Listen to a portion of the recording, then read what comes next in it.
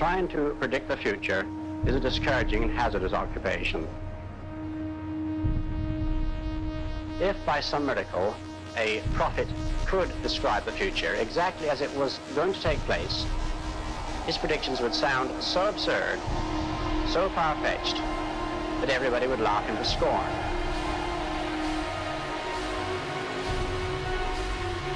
Only if what I tell you appears absolutely unbelievable have we any chance of visualizing the future as it really will happen. The only thing we can be sure of about the future is that it will be absolutely fantastic.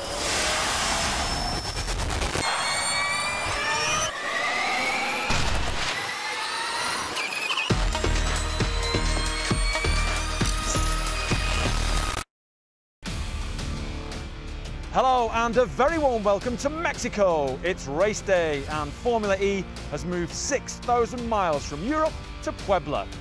Around two hours drive from the capital Mexico City for round eight of the ABB FIA Formula E World Championship. We're in Puebla for the very first time on a track that's new to most of the drivers. Now, one thing that's going to play a pivotal part this weekend is the weather. It's hot, it's muggy, and there's a huge chance of rain. We've reached the halfway stage of the season. We've had six different winners. And as always, the season has been filled with drama, filled with incident, and filled with lots to talk about. Last time out in Monaco, people are saying it was the best Formula E race ever. Let's find out why. The Monaco E-Prix. All five lights are on, and we go green in Monaco. Evans has got a good getaway. He might have the inside coming into Sainte Devote. Now we're into the hairpin. Oh, and there's a contact there. That is Sims in trouble. Honestly, these guys are crazy. Robin Frijns on the attack. He's through. Frijns ahead of Da Costa. Vergne is going for Evans. Round the outside of the new Nouvelle chicane. And Vergne gets through, and Da Costa's going to get caught up in that. He just drove me off the track. Da Costa does the fan boost in the tunnel. Frijns covers the inside. Da Costa sweeps to the outside. Turns in. Takes the lead. Frijns on the inside into Sainte Devote. Evans sweeps through. He's going for it now. Oh! What a move! Evans up through Beau Rivage. Takes the lead of the Monaco E-Prix. Good job, good job. Coming down into the new Nouvelle chicane. Da Costa to the outside and to the lead. Masterclass. Da Costa comes through the final corner. Da Costa wins in Monaco. An unreal end to the E-Prix. And Frijns gets second, does he? Yes. Calm down, calm down, and tell me that I just won the Monaco E-Prix.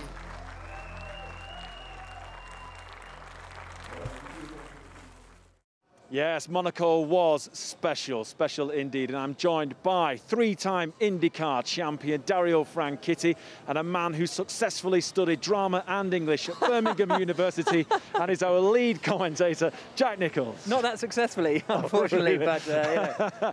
Uh, Jack, everyone's saying it was the best E Prix ever. I loved it. It had everything. It had drama, it had racing to the last lap. It was a proper race circuit. And talk about old school, they've been racing there since, what, 1929. So it had everything. Loved it. Hopefully, Puebla can, uh, can give us something similar. We kind of, in a roundabout way, brought that track up to date, you know, with the electric racing, Dario. And those three uh, drivers at the front, Frijns, Evans, and Da Costa, really put on a show. Yeah, they put on a great show. Formula E put on a great show. Apparently, you couldn't overtake in Monaco. They were overtaken everywhere. it was just incredible to watch. That last lap pass from Da Costa, sublime. Yeah, it really was. We'll have more on Monaco a little bit later on. But, Jack, this is a brand new track to Formula E, and it's something special. Lots of twists and turns, lots of scope for drama, which, I mean, when you say drama in Formula E, going back to drama, uh, it, it's, it's always around, but this track in particular is going to bring something special. Well, the drivers are really enjoying it. It's really flowing, and you've got this quite unique banking here at the final corner, unique in Formula E anyway, and this is how much of a difficult challenge it is for the drivers. That's Jean-Eric Vergne, two-time champion, wrestling with the car. Jake Dennis wrestling with the car. We saw Norman Nato in the Venturi having an absolutely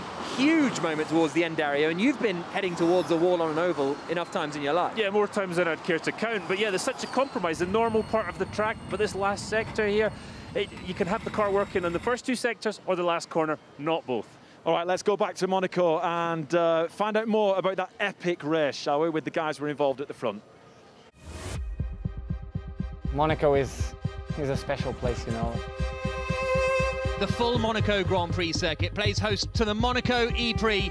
I think you could see the show that we brought to everybody was absolutely incredible. I think we gave everybody 45 minutes plus a lap of incredible excitement. We really showed what, what Formula E is all about. I've never seen a, a, race in Monaco with so much action. All five lights are on. And we go green in Monaco. Evans has got a good getaway. He might have the inside coming into Sainte Devote. I think like every corner has a story to tell. Now we're into the hairpin. Oh, and there's contact there. That is Sims in trouble. Honestly, these guys are crazy. I was putting a lot of pressure on myself for that weekend. We clearly needed a win to relaunch our championship, you know. So to go into, into Monaco in the hunt for the top few places in the championship and, and to capitalise on that, it's, uh, it's really important. Robin Frijns on the attack. He's through. Frijns ahead of Da Costa. We had uh, great battles with uh, Antonio and Mitch uh, till the end. Some of the passing moves were, were, were, pretty pretty epic. The one up through uh, Beau Rivage was unexpected, but it just sort of presented itself. He's going for it now! Oh! What a move! Evans up through Beau Rivage, takes the lead in the Monaco E-Prix. Good job, good job. He gave me just enough space to get through. That's definitely what I'm, I'm quite proud of. With these guys, you can battle very hard, but always fair, which that's how racing should be. Frijns covers the inside, Da Costa sweeps to the outside, turns in, takes the lead. It was a really stressful race, especially after that with the safety car, because I had obviously the energy disadvantage. Let's keep our target under control. I'm going to struggle here. I knew I was going to have an advantage on, on him there at the end. But one thing is knowing you have the advantage, one thing is actually using it in, in your own advantage. And this is it, the next braking zone critical for the winner of this race. For that move after the tunnel for the chicane, I really thought, you know, it was, it was my only, my last chance. I did that corner as soon as I came out of it, of it I was like, damn it, man, I'm going to win the Monaco E-Prix. So I decided to go for it. Da Costa to the outside and to the lead.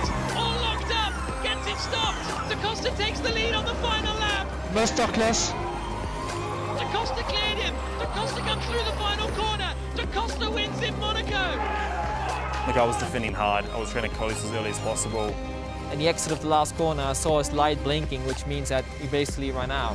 Unfortunately, Robin got me on the line. He just had enough energy. And Frijns gets second, does he? Yes! Just. It was one of the happiest moments of my career.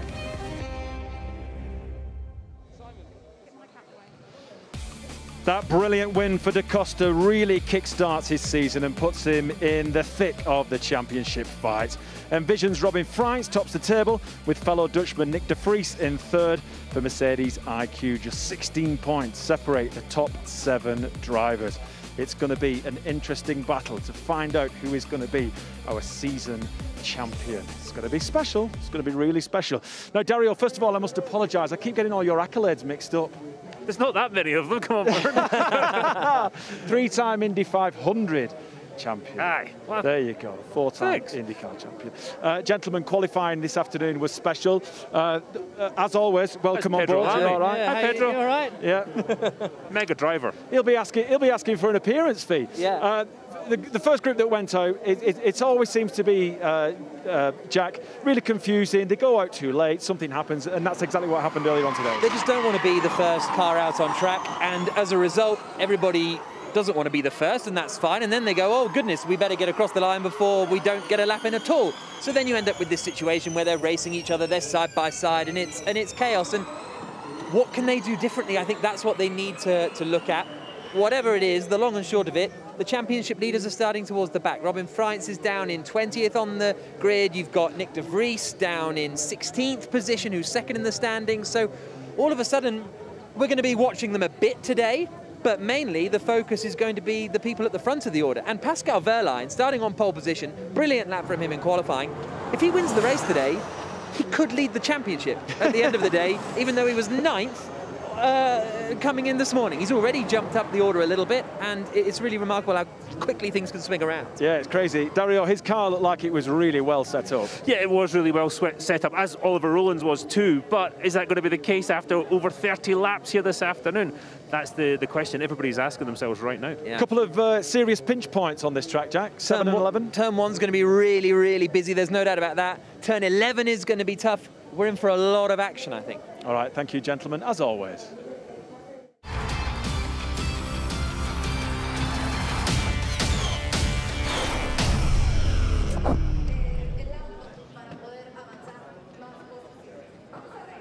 So we're down by the Panasonic Jaguar racing car, Sam Bird's car down in P18, but we're not going to dwell on the position because we've seen uh, well some marvellous moves from you in Monaco. You moved up nine places on the grid. Can we expect to see something like that again today? I hope so, Nikki. That's the plan. Obviously, quali didn't go to plan. I actually did quite a good lap, uh, except it was a, a race to turn one, and I lost a lot of time in, in battling, and uh, unfortunately, Robin locked up, went wide. And anyway, it is what it is.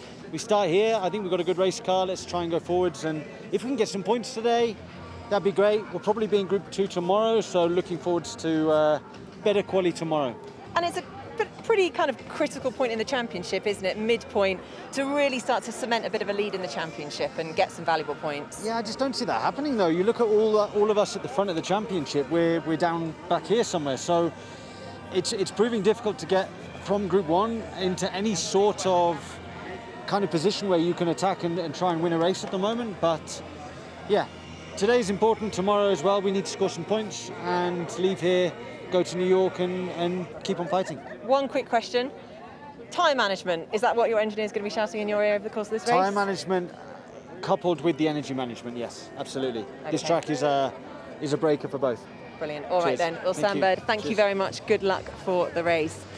Now, just like any other city that Formula E visits, Puebla has an environmental issue when it comes to its pollution. But Formula E is here to help, to encourage more electric cars on our roads, to reduce CO2 emissions, and ultimately really help in that fight against climate change. Let's take a look at what Formula E are doing.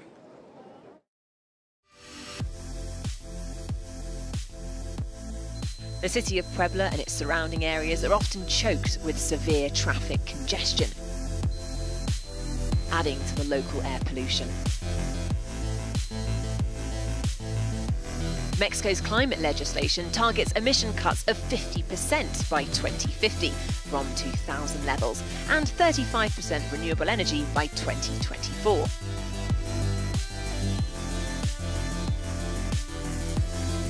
In 2018, Mexico reported a 68% growth in EV and hybrid vehicle sales.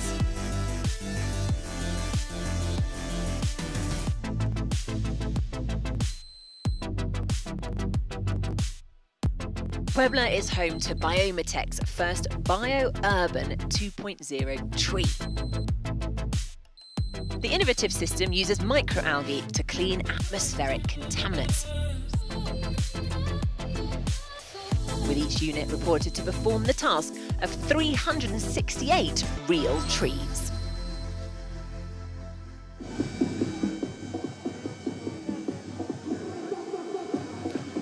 Pascal, you okay? Very Feeling good. confident? Still, yeah. How are you? I'm very good, thank you. Your eyes look really focused. What are you thinking about? Sat on pole position on a track that we've never raced on before. Yeah, about the start, obviously. Um, about switch changes I have to do. Um, yeah, and just focusing. I like that because you're very, always very cool, calm, and collected. You've already been on the podium in Rome. You've had four top ten finishes. Surely it's results like that that give you confidence to be successful here in Mexico. Yeah, I think it gives all of us confidence. Um, I mean, this track was new for everyone, so we didn't go into a weekend with a, with a disadvantage, you know, on the other teams. So we did a good job. Um, we executed well so far, and now we have to do it in the race. You mentioned earlier on that you're feeling more and more comfortable with your new team, Porsche. Uh, how does that relationship work? How long do you think it takes for you and the team to bed in together and become one solid unit? Uh, I think we are already one one unit, and it's just getting better and better. So, um, yeah, uh, I, I don't know how long it will take, but uh, yeah, it's already a very good step forward. Okay, if you win today and get the points, then you've got the real chance to really climb up to the top of the table. yeah, that's the target. All right, good man. Always a pleasure. Thank you, Pascal Wehrlein. Uh, we're going to make our way over to Oliver Rowland because, as you can see, there are a lot of mechanics working on his car. There's no, uh, actually, Oliver's not here, but as you can see, uh, the, the guys are really getting stuck in. Jack, what do you think? Well, I think it's a problem with the, the radio antenna. Oh, okay. So uh, the, the car is going to work and the car is all right, but they're struggling with the radio. So there's so much information that comes from the radio to the teams in terms of energy management, in terms of like Nikki was saying, managing the tires. So without the radio, it's going to be a, a tough a tough race room. So that's what they're working to get fixed. The car itself, I think, is okay and can drive, but it's going to be tough. All right, thank you, Jack. Loving your investigative work. Awesome stuff. All right, Nikki, where are you on the grid? Well, let's have a chat with the driver who is at the top of the standings and also has a rather nice view of the grid ahead. It is Robin Frijns for Envision Virgin. Um, Robin, obviously having the most points coming into this weekend is a nice position to be in. Towards the back of the grid, less so. Not so good, no. Qualifying didn't really went as planned. It was a bit of a mayhem in Group 1. Everybody was bunched up together. We were fighting for positions, basically. Most important thing is do a lap, um, which we did, but then in turn one I braked a bit too late. Um, got a bit misjudged with Mitch in front of me. Um, yeah, lost one and a half seconds, and then you're at the back of the grid. But the fact that you know your biggest competitors are kind of around you. I mean, I think you've only got really got Jean-Eric Vergne, who's up in Yeah. P4. So, uh, does that kind of compensate for the situation? Uh, a bit. I mean, it's Formula E, so we go to a new track, and Group 1 is being quite slow compared to all the other groups. So all the, let's say, championship contenders are pretty much in the back. Uh, you see Da Costa is, I think, 12th, if I'm not mistaken. So he's just on the border to, to get points. The most important thing is stay out of trouble the first couple of laps, keep the car in good condition, and hopefully we get some points in the back. Yeah, keep the car in good condition. Now, that's going to be quite hard because we have seen the drivers throughout the course of today just wrestling with the cars on this track. It's not going to be easy. It's definitely not going to be easy. There's just one racing line. It's very sensitive if you just put one wheel offline, um, which we'll probably see in the race. And yeah, if you try to do an overtake maneuver and you put a car on a dirty part, it could be ugly. Excellent. Well, uh, we're excited about it. Good luck. Keep that car on track. And um, I'm going to ask you to hold my microphone while I hopefully elegantly jump down. Nicki Shields, Neil Netherman. there we go. That's my exercise for the day. Thank you very much, Robin Frijns. Um, let's go and have a chat to one of his uh, biggest competitors. That's Stoffel Vandoorne at the Mercedes team. Just uh, we'll head over this way, Simon. Uh, Mercedes obviously leading the teams championship, just two points ahead of Jaguar. Can we have a quick word? Of course. How are you feeling about what lies ahead? Quite a busy grid in front of you. Um, yeah, quite a few people ahead. Um, obviously, qualifying was a bit of a dogfight out there, so um, yeah, wasn't really that representative. But our car's quite quick, um, feeling pretty good in, in, in race pace. So uh, let's you know let's see what we can do. The attack mode is quite uh, quite challenging as well to you know implement in the strategy. So we'll see. It's going to be pretty time costly, isn't it, going through the attack mode? You don't want to make a mistake. I mean, it's, is it going to be more strategic in this race than others? I think uh, I think it will be, um, and also the track out of uh, the racing line is, is super super dirty and super slippery. So taking that attack mode is already uh, a big big challenge. So uh, let's see. I think. Um, you know, it's an interesting one for everyone. I think we have a, a good chance to recover some some positions, so I'm feeling optimistic. Fin- finishing in the points? Uh, I hope so. I don't want to jinx anything, but uh, yeah, let's uh, let's see. Fingers crossed. Thanks very much. Back to you, Vernon. Thank you very much, Nikki. Yes, I'm with our back-to-back uh, champion, the only man who's got back-to-back championships in Formula E, uh, Jean-Eric Vergne. He's just having a, a chat at the moment. Uh, let's see if we can dive in there. Uh, Jeff, how are you feeling? Always, uh, you know, just always very relaxed prior to a race. Yeah, I'm, I'm good. I'm okay. Starting P4, I think it's it's not a bad place to uh, to start from, and uh, we see where we get from there. It's going to be a complicated race, I think, for for the tires. So you know we're going to do our best like always. Fourth in Monaco and a fastest lap. That must give you a lot of confidence. Uh, P1 would have given me a better confidence, I suppose, but uh, it's better than nothing. I think you know in this championship, consistency is key, and uh, you know you may even uh, win the championship by finishing fourth uh, every races. You know this year it's so complicated. So we'll see what happened today. You mentioned that consistency is key. There's only yourself and Robin Frijns. Uh, Oliver Rowland's had a, a, disqualification who haven't had a DNF, and it's that loss of points that really makes a difference in Formula E, isn't it? Yeah, yeah, I think so. But at the end of the day, you know, you still need to deliver and win some races. So that's what I'm going to try and do today. You're one of the most exciting drivers on the grid. Uh, you're here in fourth. Surely this is going to be easy for you to carve your way to the front, Jeff. It's never easy, you know. Every Come time on. I think a Come race on, is easy, it's bad. and every time I think a race is difficult, it's, it's say difficult, but okay. All right. So we'll see. Cheers, Jeff. Thank you. All right, we're going to go and find uh, Jake Dennis over at BMW Andretti. Um, rookie, here he is, sat down, uh, looking fresh in his uh, race whites. Uh, Jake, third on the grid. Uh, you haven't had a finish lower than eighth apart from your podium in Valencia, which was pretty spectacular, the old victory. So, how are you feeling going into this Mexico E Prix? Yeah, relaxed. Uh, I find it a lot more chilled when you start at the front. Uh, so, uh, yeah, I'm just looking forward to the race. I think it's going to be really tire, tire dependent, and yeah, just managing this is going to be the challenging thing. But the thing with that is, I was just saying to Jack, is if we try and look after the tyre too much, then we lose too much minimum speed, and then we waste too much energy. So it's just trying to get the right balance of what to do. Your rookie season, is it is it easy or has it been difficult to adjust and get used to all the different elements of the algorithm that make a Formula E driver successful in the championship? I'm still learning it now. Like it's half, half the stuff I don't know. no, no, uh, it's you just you adapt so quickly, and you start as long as you get the basics of what to do in the race, and you, you generally can't go too far wrong. But uh, so far, so good this weekend, and we can try and have a clean race. All right, just quickly, tell me how you feel. Are you nervous? Are you excited? What, what is it in, inside a driver's mind, the way that you're feeling now, looking forward to turn one? I'm excited. Uh, I haven't raced against Oliver since like, well, karting days, and last time he did that, he put me in the wall. Oof. So uh, You don't want that here? No, we don't want that here. But I'm quite looking forward to racing a fellow Brit. Uh, obviously, Pascal. Uh, this is going to be a good race. All We've right. got some top top drivers. All right, thanks, Jake. Appreciate it. Nikki? Well, good to see Alejandro Agag, chairman of Formula E, on the grid, having a quick word with Mitch Evans. Um, Alejandro, we're back racing for the first time here in Puebla, but back in Mexico. Yes, yes. Great to be here. Great to be in Mexico because the, the fans in Mexico are amazing. Always they come to see Formula E uh, in Mexico de DF, in Hermano Rodriguez. Now we can bring this somewhere else in Mexico, here to Puebla. It's going to be an amazing race, very challenging for these guys. I can't wait.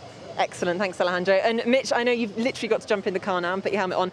What is going through your mind right now, ahead of the lights going out before the first E Prix here in Puebla? Uh, not a lot, to be honest. I'm pretty chilled. Um, to be honest, you can plan certain things, but once you get down to turn one, you you know, it, all sorts of plans go out the window. So it's Formula it's so unpredictable. So um, look, I want to obviously have a clean first corner and then go from there. Great. Expect the unexpected. Always Exactly. cool and calm, though. Enjoy the race. Thanks very much, guys. Uh, back to you, Vernon. Thanks, Nikki. Oliver, just quickly, I know there's an issue with the radio. Is, is it going to affect your race? Are you going to be okay? Well, I think so. We don't have to send up any carrier pigeons or, or, or smoke signals? Probably. I mean, yeah, I'm going to have to manage the best I can with no communication. So. Uh, I So sorry, really- just repeat that, Oliver. You're going to have no communication from the team. from the team at all. I don't know yet. They might fix it. So let's see. Okay, is this something that you go through uh, in the sim? Have you ever practiced this? Never. But you, you've got to be have confident. my energy and laps on my pit board at school. So, yeah. Uh, but what about when it goes to full course yellow and maybe a red? Will, how will people make you aware? You just have to keep your eye on the boards. Old school marshals and boards, I guess. I mean, I only found out five or six minutes ago, so I've just been going through everything that I can do to try and manage it. Just do my best, but it's not going to be easy. All right, Oliver, go for it. Good luck. Freewheeling on his own on the track. Uh, it'd be interesting to get some comment from Dario because I wonder, I wonder if he's been in that situation where he's had no communication with his team whatsoever. That's going to be really difficult, but he is in second, so I guess all he's going to do is watch Pascal on pole position. Um, all right, let's take a look at what we're going to race on here in Puebla, in Mexico. Welcome to Puebla, Mexico. Let's take a closer look at this 3 kilometre, 15 turn circuit. Turn 1 has a lot of challenges. A long straight approaching it, so high speed, it's a wide and very bumpy braking zone. But as the driver starts to turn in, it's very difficult to actually pick out the apex, and the rest of the corner is completely blind. The apex wall in turn 1 will require pinpoint accuracy, and the track narrows down on exit. This should be fairly spicy on lap 1. Turn 2 is a sweeping right-hander. Turn 3 is all about setting up for braking of turn 4, where the drivers are going to be turning as they brake and regenerating as much energy into the battery as possible. It's a long, long corner from here to the straight to turn 5. Very easy to gain or lose a lot of time. In turn 5, you'll be as wide as possible to set up for turn 6, where you need to carry as much speed as possible while using the minimum amount of road on exit, so you can be in the correct position for turn 7. This is a driver's view. Completely blind entry again. The apex is a wall, so if you get it slightly wrong, wipe the right side of the car off on the apex wall. But if you get it wrong on exit, there's about a foot of grass. And then another wall. There is absolutely no margin for error in this fairly quick corner. Turn 8 is another one of these long corners that we see at Puebla, with the wall being the apex very late in the corner, off camber, difficult corner. But then you consider that Formula E have put the attack mode activation zone not on the outside of the corner as normal, but on a completely different part of the circuit, a whole new piece of circuit. So the time lost if you take attack mode is going to be massive. Cars re-entering the circuit from attack mode will have much higher speed, so look out for contact where they merge. The short straight up to 10, heavy braking for 11, off the oval again. Long turn 13, sets up for 14. Turn 14, another one of those long corners, apex somewhere about there. But this is the critical point of the track, is how early you can get back to throttle, because now you're flat out all the way around turn 15 to turn 1. Any pass you want to make in turn 1 starts right here. Turn 15 is a heavily banked, long oval corner. The fast way through here is to get as close to the white line as possible, but that puts tremendous amount of load on the right-hand side tyres, and by this point they're going to be really upset.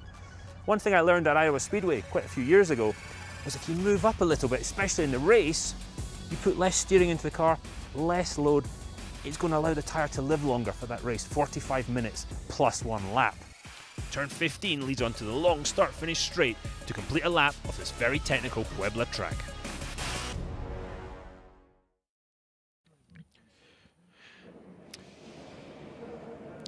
So there is the Puebla circuit. There's the beautiful view of the Puebla circuit. We are uh, about a 45 minute drive outside of the city itself, the beautiful rolling hills of this part of Mexico, two and a half thousand meters above sea level. And I think it's not surprised a lot of people coming here to, to Puebla, just how pleasant it's been. But it's a, it's a track Dario that was first built in 1985, had a had a renovation in 2004, hosted some world touring car races, but now it's really stepped up to the plate, and it's a great little track as we look at Jean-Eric Vergne, who's going to line up in fourth. Yeah, it really is a fabulous track, and they've had to uh, Formula E. They've put the walls up to really make it look like a Formula E track, keep that margin error. The last corner certainly got no margin for error at all. So, uh, yeah, fabulous track, and it's um, high high degradation, low grip. So that means all these drivers have really got the work cut out today. Jake Dennis starting third, the 26-year-old, turned 26 on uh, Wednesday, I think it was, and what a late birthday present it would be to get a podium finish, as he says, and uh, fighting with Oliver Rowland.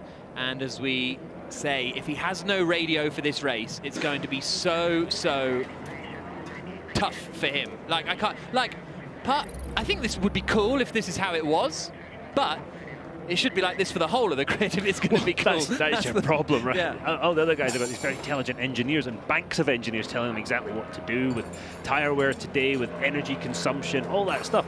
And if, if Oliver's on his on his own, what I would do is I'd, I'd take a reading off of Pascal and try and sort of shadow Pascal. Um, and then see where you were towards the end of the race. But it's, it's, it's not an impossible task. But if he hasn't got radio, it's very, very difficult to compete with these, not just drivers, but you're competing against all the teams as well, and you're doing it on your own. Pascal Wehrlein will be starting from the front of the grid. He has never had a win, Pascal Wehrlein, the Porsche driver, second his best ever result.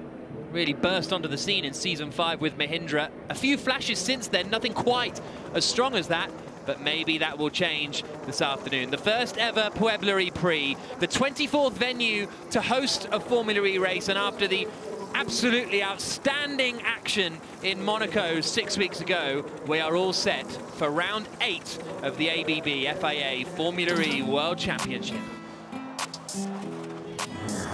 And we go Mexico. And they make contact. Oh, I don't believe it.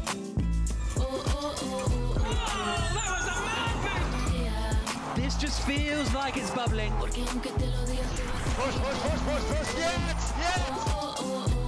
What a race!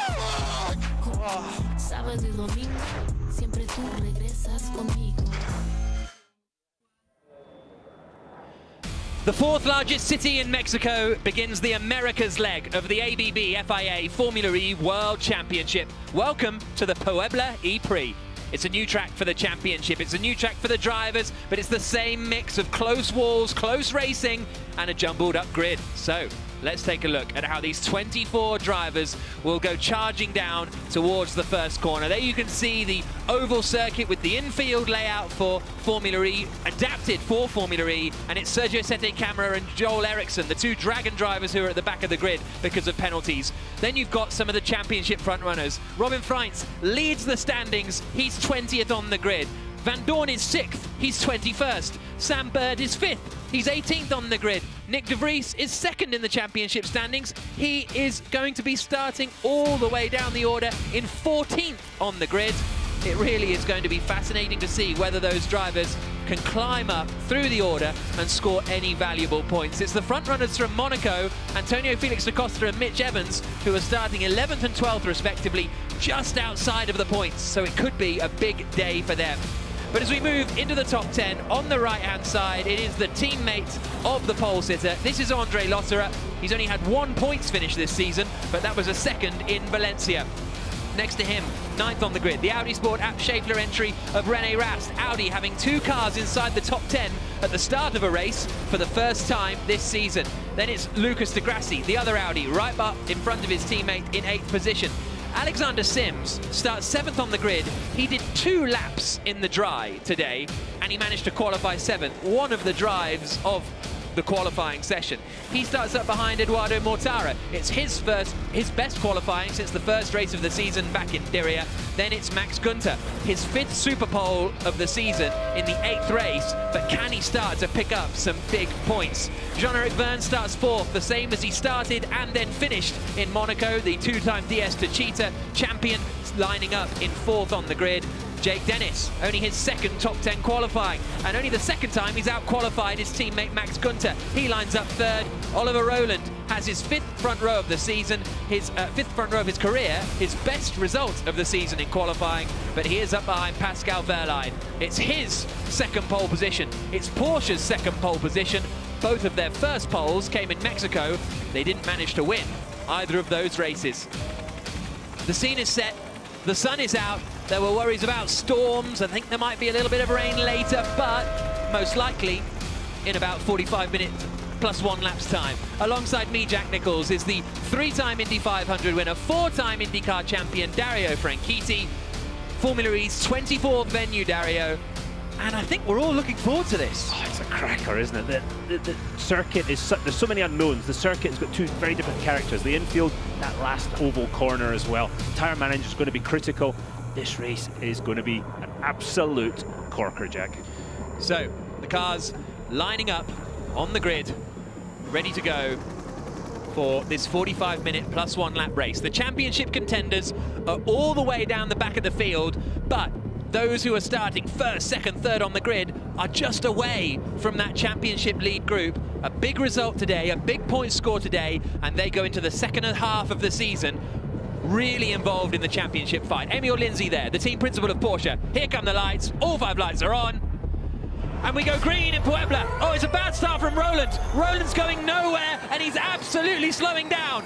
Pascal Wehrlein leads the way. It's a great start from Max Gunter, who's attacking his teammate into turn one. The two BMW i Andretti's side by side, and Gunter has somehow managed to get up into second position. It's a huge burst of mud and dirt on the exit of the first corner, but Wehrlein leads. It's Gunter second, Dennis third, Vergne fourth, Mortara is fifth, Sims is up into sixth. Rowland is still in the fight then, but he's managed to get going, but a long, long way down the field. So that's a really strange one. He just seemed to have no power off the line. Wehrlein holds the lead. Here they come down towards turn eight. Attack mode activation is on the outside there, but we'll get into that when the uh, attack mode window opens. Gunter came from nowhere, started in fifth position. Oh, and in the wall is Cassidy. Nick Cassidy in the Envision Virgin car looks to be out of the race already. Broken front left. He is done, and that might bring out the virtual, um, the uh, full course yellow pretty much instantly. He's ground to a halt. Might even be a full safety car. Yeah, he's got to use the car again tomorrow, Jack, so he can't damage it too much by dragging the bottom of it along the circuit. The drivers come in to turn 13, setting up now this is a point of the lap where you think, okay, got to get off the next hairpin, turn 14, as we see the safety car coming out, a full safety car. The track's, uh, the, the pack is going to pack right back up behind the safety car now. Okay, safety car deployed. Everybody will slow down.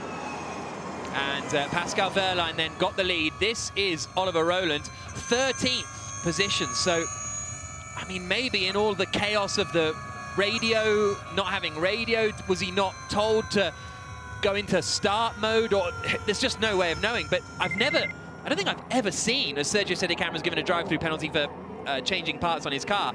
But I've never seen that sort of start before in Formula E where a car just bogs down like that. So we're behind safety car, 43 minutes plus one lap to go here in Puebla.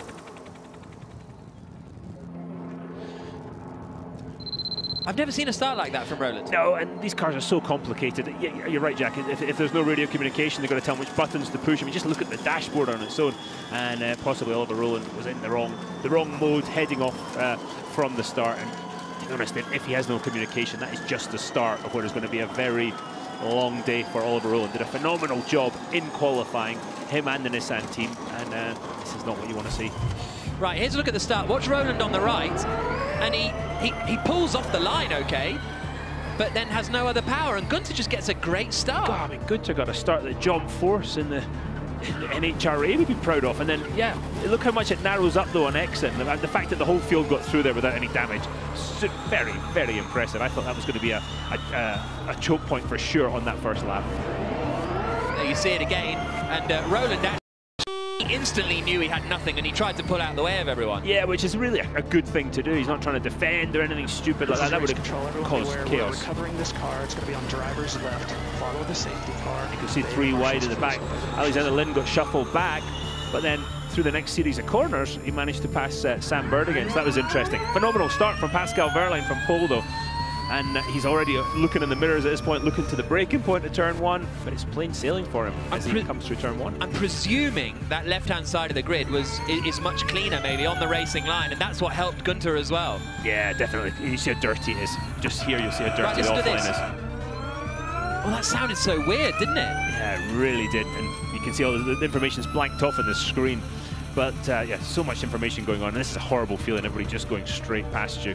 So this is Ver- Vergne tries to go to the left, Rowland then goes to the left, and then Vergne has to switch back to the right. So it was a really dramatic moment for, for Jean-Eric Vergne. So we're still on board with Rowland coming into turn four, so we managed to get back going again. Still behind the safety car in Puebla, and this is on board from Vergne. Goes left, then goes right, because Oliver Rowland was slow off the line. And that really cost Jean-Eric Vergne's a lot of time there. He was on the dirty side of the grid anyway. Watched the BMW side by side. He's, he's hoping that Max Gunter's going to bash into his teammate Jake Dennis, but not to happen. Look at the dirt on offline though, and that's what the drivers are really dealing with, and are going to be dealing with all day, as that dirt is replaced by the marbles. See Nick Cassidy walking back. Guys, it's been a, a season of uh, a testing se rookie season, shall we say? He had a solid enough qualifying, 13th on the grid, Nick Cassidy. And uh, there is Sylvain Filippi, the managing director on the left-hand side, but got caught up in something at the start, and it's going to be no points. Let's see if we can see what happened. Just look at the back, and Cassidy was 13th. Oh, I think he's gone in himself. He was Just going side by side with Evans. Yeah, he got on the marbles and got on the dirt jack, and that was it. And Nick Cassidy, uh, New Zealand driver, Kiwi, knows how to win and everything, but it just hasn't gone his way. He's been quick. He is a rapid driver, but just not his gone his way at all. He's on board right now, and there you see to the left the damaged Envision Virgin car, and that was very much it. Now, uh, the team have confirmed that Rowland, they, they didn't get that problem fixed. They were obviously trying to, but they didn't manage to. So Oliver Rowland has no radio communication. Uh, Buemi's been given a 10-second stop-and-go time penalty, um, which uh, I think was announced before the before the start of the race, similar to the uh, um, Dragon cars. And worth pointing out, Eriksson in 21st place is Joel Eriksson, a 22-year-old Swede who uh, who is making his debut this weekend. But that's Pascal Wehrlein leading the way in the black and white Porsche. Then it's the two blue and white BMWs of Max Gunter and uh, Jake Dennis. Then it's Jean-Eric Vergne in the black and gold DS Techeetah in fourth. Eduardo Mortara in the white and black. Uh, Venturi is in fifth position. And there's Alex Lynn into the pits. Okay. So he was 16th. Was that a tactical decision to change Fresh set of tyres or something? Possibly. I mean, he's, he's Ah, a puncture. Oh. It was due to a puncture, so Lynn had to pit due to a puncture. And that's very unusual. Let's hear what he says. You have to make sure you don't slot. Yeah, you will slot back in, in the same position. Okay, so now I've got uh, Buemi now at Gen 1. Interesting, slotting back in the same position.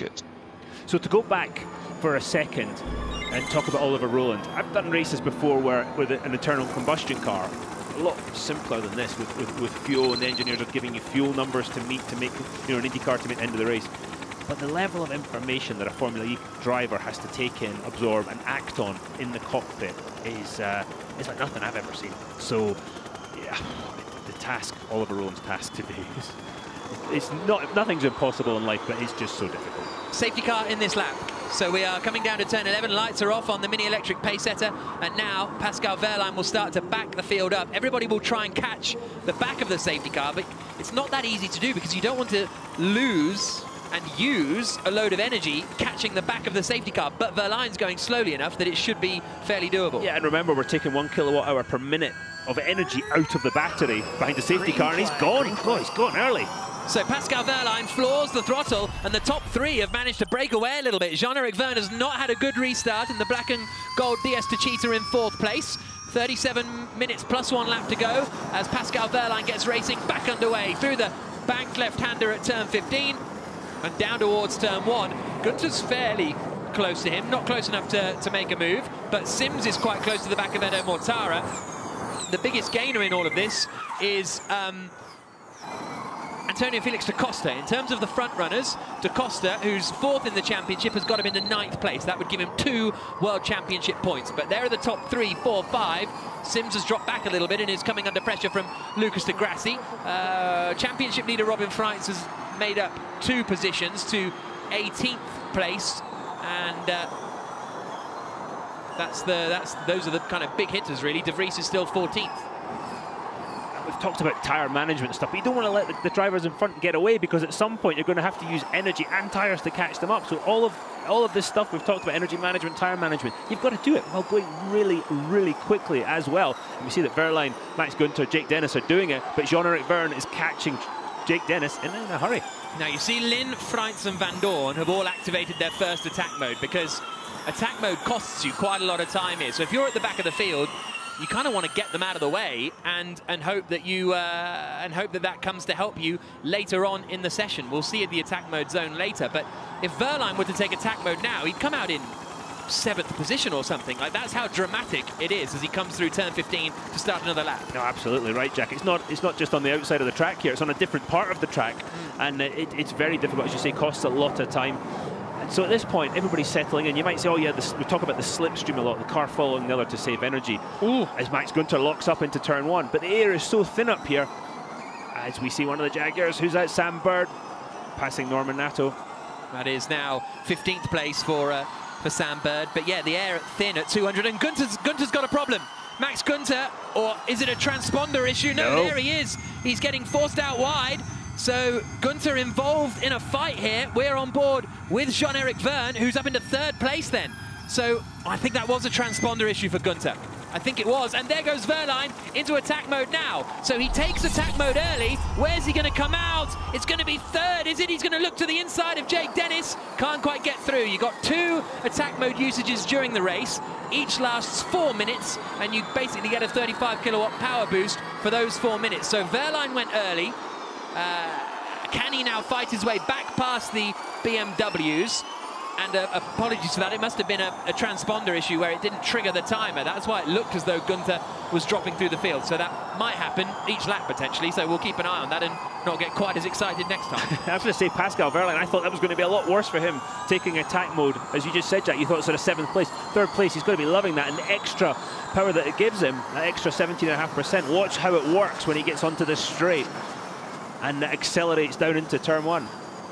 Well, you just wonder if Gunter had maybe not saved much energy. And uh, here comes Wehrlein to the inside of Jake Dennis, and through he goes. Uh, There's no defending that. You No. just, if you're Jake Dennis, you just think, okay, right, I'll, uh, I'll return the favour in a minute when, when I get the attack mode power. Would Wehrlein potentially have used a lot of energy to build a bigger gap to then activate attack mode? Because that you can do that if you're in the lead. If you're in the middle of a train, you can't really do that. No, you cannot because you're not, you're not in control of when you actually lift, when you brake. You're, if you're leading the race, you're in control of all those things, exactly how to carry the most momentum possible and control all those different things. She turned seven, which caused all kinds of problems this morning with people going off and hitting the wall on exit.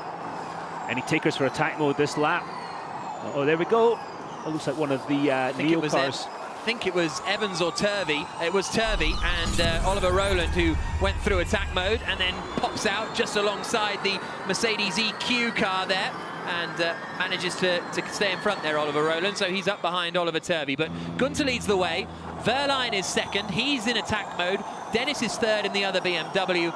Vergne and Mortara, the top five in Puebla.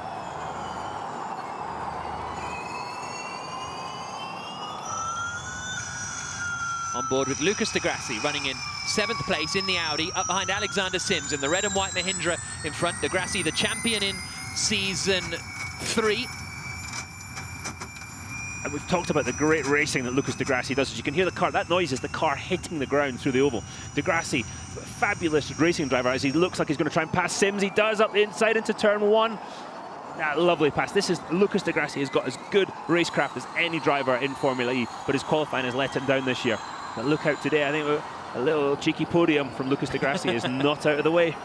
He uh, qualified 15th for the Mexico City E-Prix in uh, season three, then picked up damage, had an early pit stop and managed to win the race. Won't be quite that dramatic today, I wouldn't have thought, but he's still in the in the hunt for some good points because, as you say, he hasn't qualified well, but has often climbed a long way up the order. Gunter leading, 1.1 seconds ahead of Pascal Wehrlein. The other reason that the attack mode is less advantageous here is it's not a power sensitive circuit so the more power you're using the less power you're using doesn't really matter a huge amount big lockup from Gunter and from Vergne and there is Sims going back past Lucas de Grassi into No, that's 11. uh, no, that's Rast. Oh, that's Rast trying is to get all of it. Sims. Yeah, Sims is defending heavily, so he is in trouble. Him the Mahindra car is in trouble in race trim. Uh, qualified very, very well, as you said, Jack. Didn't do any laps in practice. Now this is where Lucas de Grassi setting up Edo Mortara ahead of him in the black and white Venturi, looking to make a move into turn one. De Grassi's taking a slightly wider line around the, the last corner, trying to save the tyres a bit, put less load through the tyres, and that should help them live a little bit longer. Not quite close, quite close enough for uh, a pass on Mortara just yet. Evans looking to the inside of Lotterer, but uh, for 10th place, not achieving anything. Max Gunter, Pascal Wehrlein, Jake Dennis, Jean-Eric Vergne, Mortara and Degrassi are the top six that have broken away a little bit in the lead of this Puebla E-Prix in the Mexico's fourth largest city, mainly an industrial city. It's actually big for car manufacturers. Audi have their biggest plant outside of Germany, just about 60 kilometers from here, and one of their most technologically advanced. And there, into attack mode, meanwhile, goes the uh, race-leading BMW of Max Gunter. So Pascal Wehrlein is back into the lead in the Porsche. Dennis is up into second place, and Gunter managed to come out in fifth spot then. De Grassi is up into fourth position, and straight away, he's going back past De Grassi, lock up from Gunter, gets it turned in, and he is uh, back up into fourth place then. And this is giving him that extra power for the next four minutes. That's what an, extra 17.5% of power from 200 235 kilowatts looks like. It's massive. Any racing driver would sell a body part for half that kind of advantage in a in a normal series. Gunter ahead of De Grassi as they come through the You can adjust kilo. You can adjust kilo. Let's follow the beeps. We do not go mental on attack. Degrassi behind on stand. So that's Max Gunter uh, being told by his race engineer, just follow the beeps and let's not go crazy now we're in attack mode. There's Mitch Evans passing Andre Lotterer, so that is for ninth place now, Evans in the Jaguar. Both he and Sam Bird are coming up the order nicely. Rast just got hung out to dry a little bit, but he has already activated attack mode. Bird's made up seven places, so that's the most of anyone in the field. But neither of them have used an attack mode a- yet, so that, that could uh, that could hurt them a bit. When you heard them say, you know, obey the beeps to Max Gunter, what the car beeps basically it tells you what to do, when to lift, when to coast, when to regenerate, which means putting energy back into the into the battery by by basically running the motor in reverse, and they do that on corner entry. And So the car is telling you exactly what to do. As you say, cut back from Jean-Eric Vergne, thought better of it with Rene Rast. But yeah, so all those things are going on all the time. The car what to do. Um, I wonder if Oliver Rowland's beeps are actually working with the radio or has he lost those two? Quite possibly the beeps normally are part of the radio system, so if he's lost those, he's he's got to really do old school today and completely fly fly blind. 28 plus 28 minutes plus one lap to go. That's Nyck De Vries, the second place man in the championship. Was up in the top 15, but he's made a mistake at turn 11. And we've seen so many people lock up today in turn 11. There's a part where they have to turn and brake at the same time, and it's caught so many people out. Look how the line has moved up through turn 15, the last corner. Everybody's, again, trying not to stay down low anymore because it puts too much energy through these tyres. So far, the pace looks not too bad. I thought it would start to fall off by this point. We're Here nine comes- laps into the race. Sorry, the Jaguar of uh, Bird was going for Lotterer. I don't think he managed to get through. We're now riding with Gunter, who's in fourth place, uh, behind Jean-Eric Vergne. This is driver's eye. We're inside Gunter's helmet. It's a fantastic, accurate view of what the German from Oberstdorf is seeing just now. see Pushing a load of buttons. He was told he could change the kilo a moment ago, wasn't he? Yeah, and you see him pushing buttons, pulling paddles, changing switches. It's all going on all the time, and he's trying to keep the car on the circuit with pinpoint accuracy as Rast goes for the attack mode activation zone.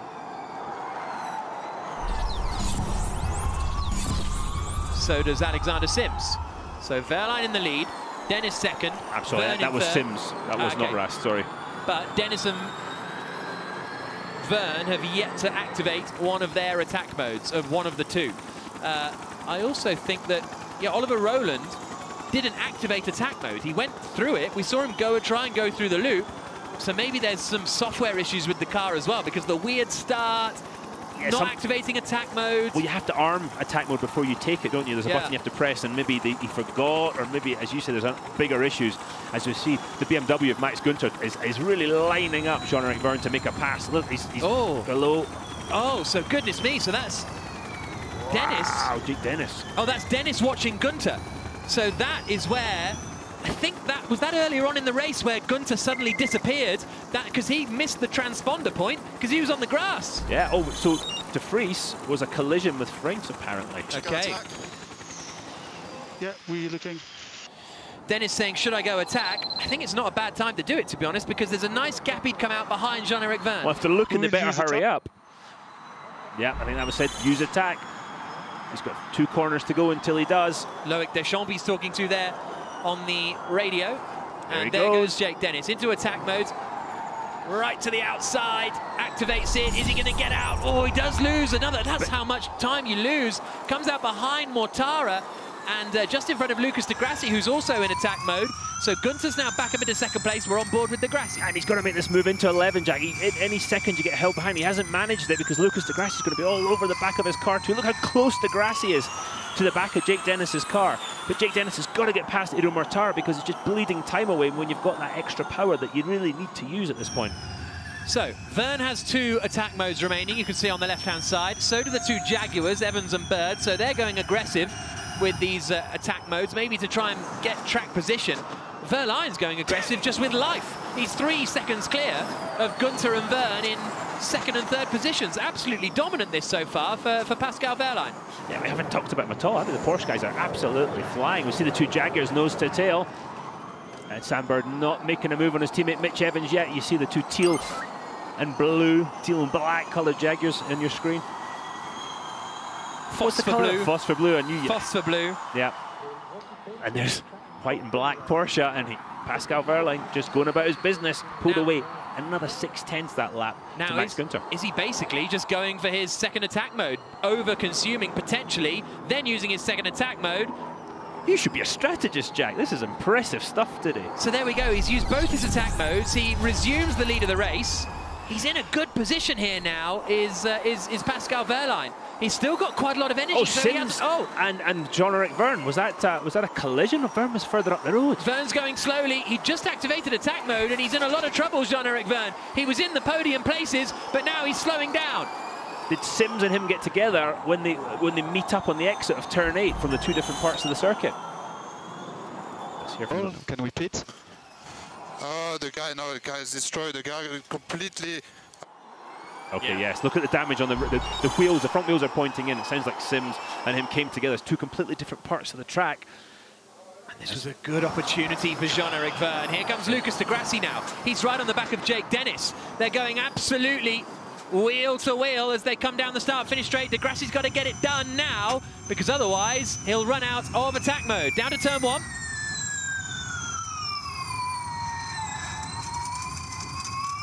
Think Dennis has done enough to hold on to that place. Now, Mortara has ended up in a good position. There's uh, Allan McNish, team principal of the Audi team, but Mortara has snuck up to third place. He's used an attack mode. He's only a second behind Max Gunter in second, and he's and he's fully in the fight. Uh, Robin Frijns has been given a 10-second time penalty for causing a collision, so we haven't seen that incident with Nyck De Vries, but Frijns has been given a penalty for it. He's 14th, so neither of the top two in the championship are going to score this afternoon. Sims goes for attack mode. You see in the Mahindra going through the uh, the sensors. They're going back to Lucas de Grassi for a second. He's driving for his Formula E future because Audi are leaving at the end of the season. He's been a long time Audi driver, never driven for another manufacturer in Formula E. So he is driving for his FE future, wants to stay in the championship. This offers to go to sports cars, but this is this is really where he wants to be, and what a job he's doing. So this is what happened to Jean-Eric Vergne. Look right at the back of your picture here. Look Him- the orange. Well, that doesn't...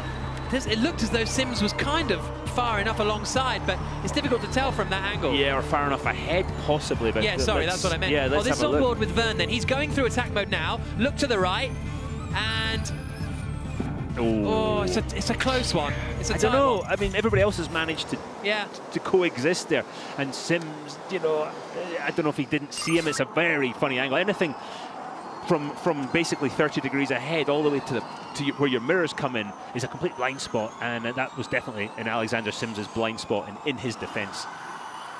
Da Costa, Vandoorne, Bird, De Vries and De Grassi are the five drivers who have been given the fan boost. So they will get an extra boost of power they can use at any point in the second half of this race to try and gain places after winning the online vote. And uh, they'll have it for sort of three or four seconds to try and make a move or defend a place as De Grassi now goes into attack mode.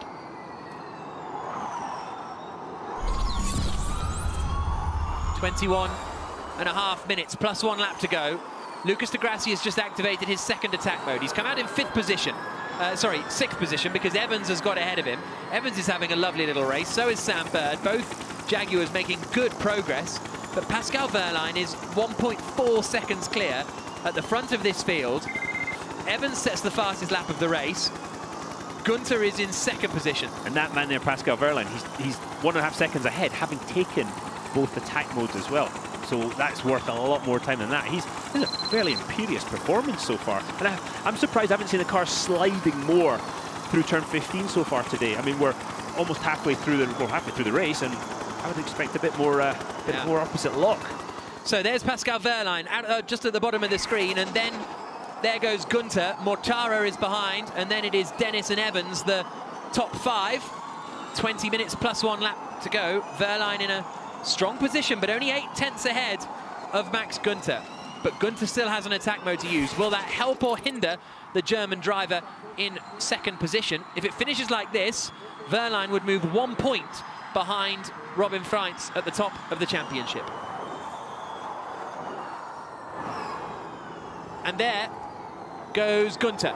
Mortara follows him, and that means Jake Dennis is back up into second position now. So Wehrlein leads, Dennis back up into second, and there's Mortara and Evans fighting it out, and Mortara comes out just in front of Evans. That was key for Mortara because he's now got the clear track ahead of him. He can close that gap. Had he got stuck back behind Mitch Evans, that would have uh, cost him valuable seconds.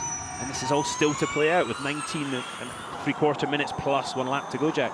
It is all simmering up, isn't it? Uh, up into 20th place. His penalty earlier on, by the way, was uh, was a stop-go penalty because after qualifying, they changed the electric motor, the gearbox, and the inverter on that car to try and cure whatever issues he's been having recently, basically. Now, here come the two BMWs, nose to tail. Lucas de Grassi's going to try and pass Mitch Evans, but Pascal Wehrlein is miles ahead in the lead. Here comes Gunter, and he goes past Jake Dennis coming down into turn one. So Gunter's in a good position here, and meanwhile Evans can't get ahead of Degrassi. Oh, sorry, that's Degrassi going ahead of Evans. My apologies. So Degrassi up into fifth, Evans down to sixth. Sims running out of his attack mode there. That's uh, Roger Griffiths, the team principal of BMW I Andretti, who are looking like they're in a good position for a, for a double podium here. Yeah, but Jake Dennis has still got to take another attack mode, Jack. So I, I'm getting on it right now, I think, just to. Yeah, he's not chosen to do that because th these guys behind are going to start closing up, and then when he takes attack mode, he's going to lose even more positions. As you see, one of the Jaguars going into attack mode. I think it might be Mitch Evans take his last one. I no, Sam Bird. Bird. Yeah, Sam Bird. Oh, and he's been hit into the wall by Lynn. Lynn and Bird collide again. Oh. And Sam Bird is out of the race. That's going to bring out a safety car. And the Englishman is going to be furious. And fairly, rightly so. And there's the fight now for Da Costa. That's Antonio Felix Da Costa getting past Alex Lynn. And the safety car is deployed then. Safety car deployed.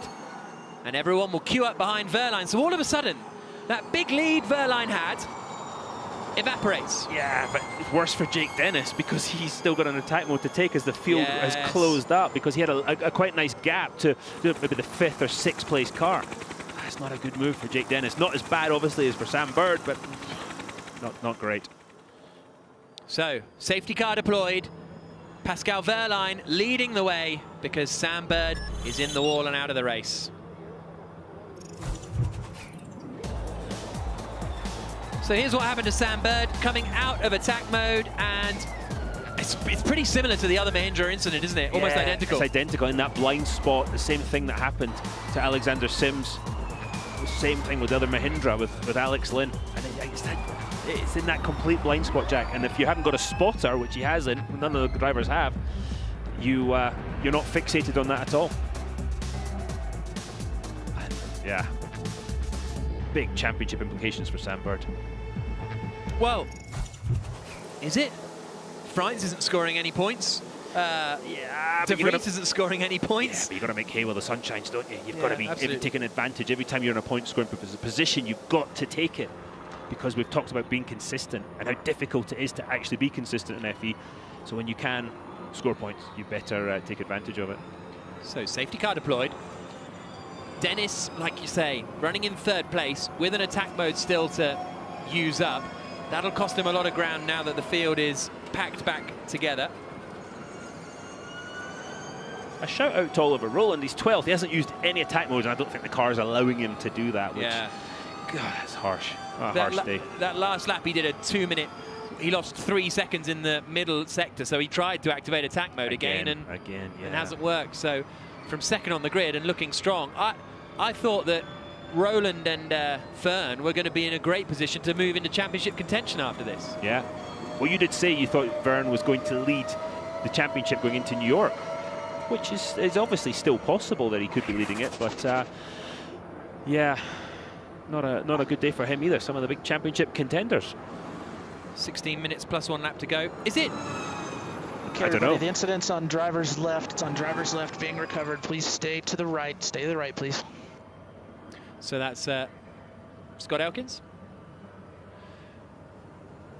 Sam Bird looking forlorn by the side of the track. We're under safety car conditions because crashed out in an incident with Alex Lynn.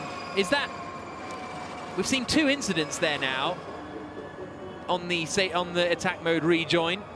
It's we, we don't we don't tend to see it that often. Is it because of the location? Is it because of the It's a different part of the track. You know, normally you can see some of that out of your, your peripheral vision, but it's a completely different part of the track. And we've seen two, I would describe them as identical situations.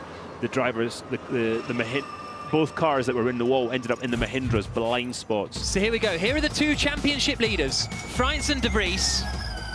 Frijns goes to the inside. Oh, has a huge lockup and wipes out De Vries. First and second in the championship. The two Dutchmen won't be scoring points today because of that. And it almost like qualifying. In qualifying at turn one, Frijns had a huge front lockup, couldn't get it stopped, and he's not trying to attack De Vries there. No, he's. I I don't know if he got blindsided by the, the Mahindra in front. What happened there? But he, God, he came from a long way back. That wasn't a, a marginal thing. That just, yeah, something's got. It looks like something's gone wrong. Yeah. So that's uh, both Envision Virgin cars out of contention. Lynn Bird is under investigation for causing a collision. I don't think that uh, Sims. Lynn and uh, sorry Sims and Vergne was. To me, they were identical, so it'll be interesting to see what uh, what decision is made. Um, yeah, Lucas di Grassi running fifth right now. That's an interesting, very interesting story. They both Audis in the top seven, both BMWs in the top three. Yeah, fascinating as we look at the rolling hills of Puebla.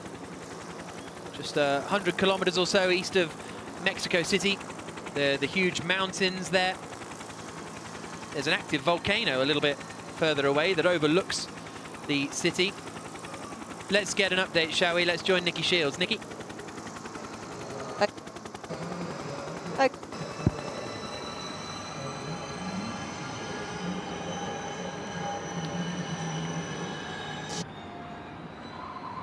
I don't think we're hearing from Nicki at the moment, but we'll try and get back with James Barclay in a moment. Obviously, his other car, Mitch Evans, is in sixth, but he's in the same position as Jake Dennis. Only one attack mode remaining. 13 minutes plus one lap to go. There is Robin Frijns, championship leader.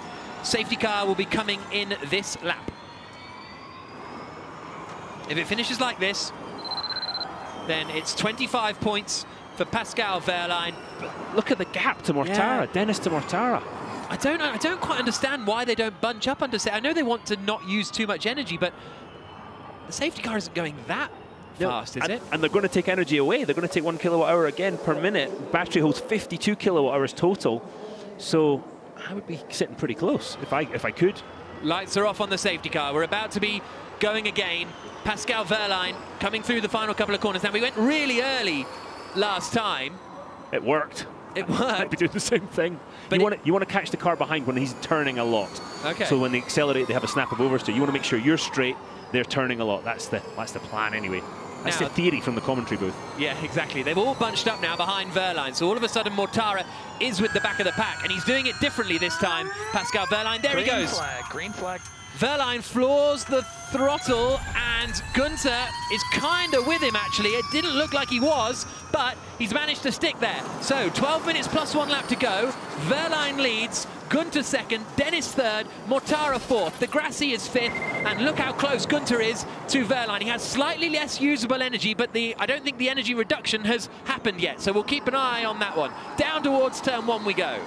Yeah, Max Gunther wasn't quite close enough to make the move, but he made a great restart.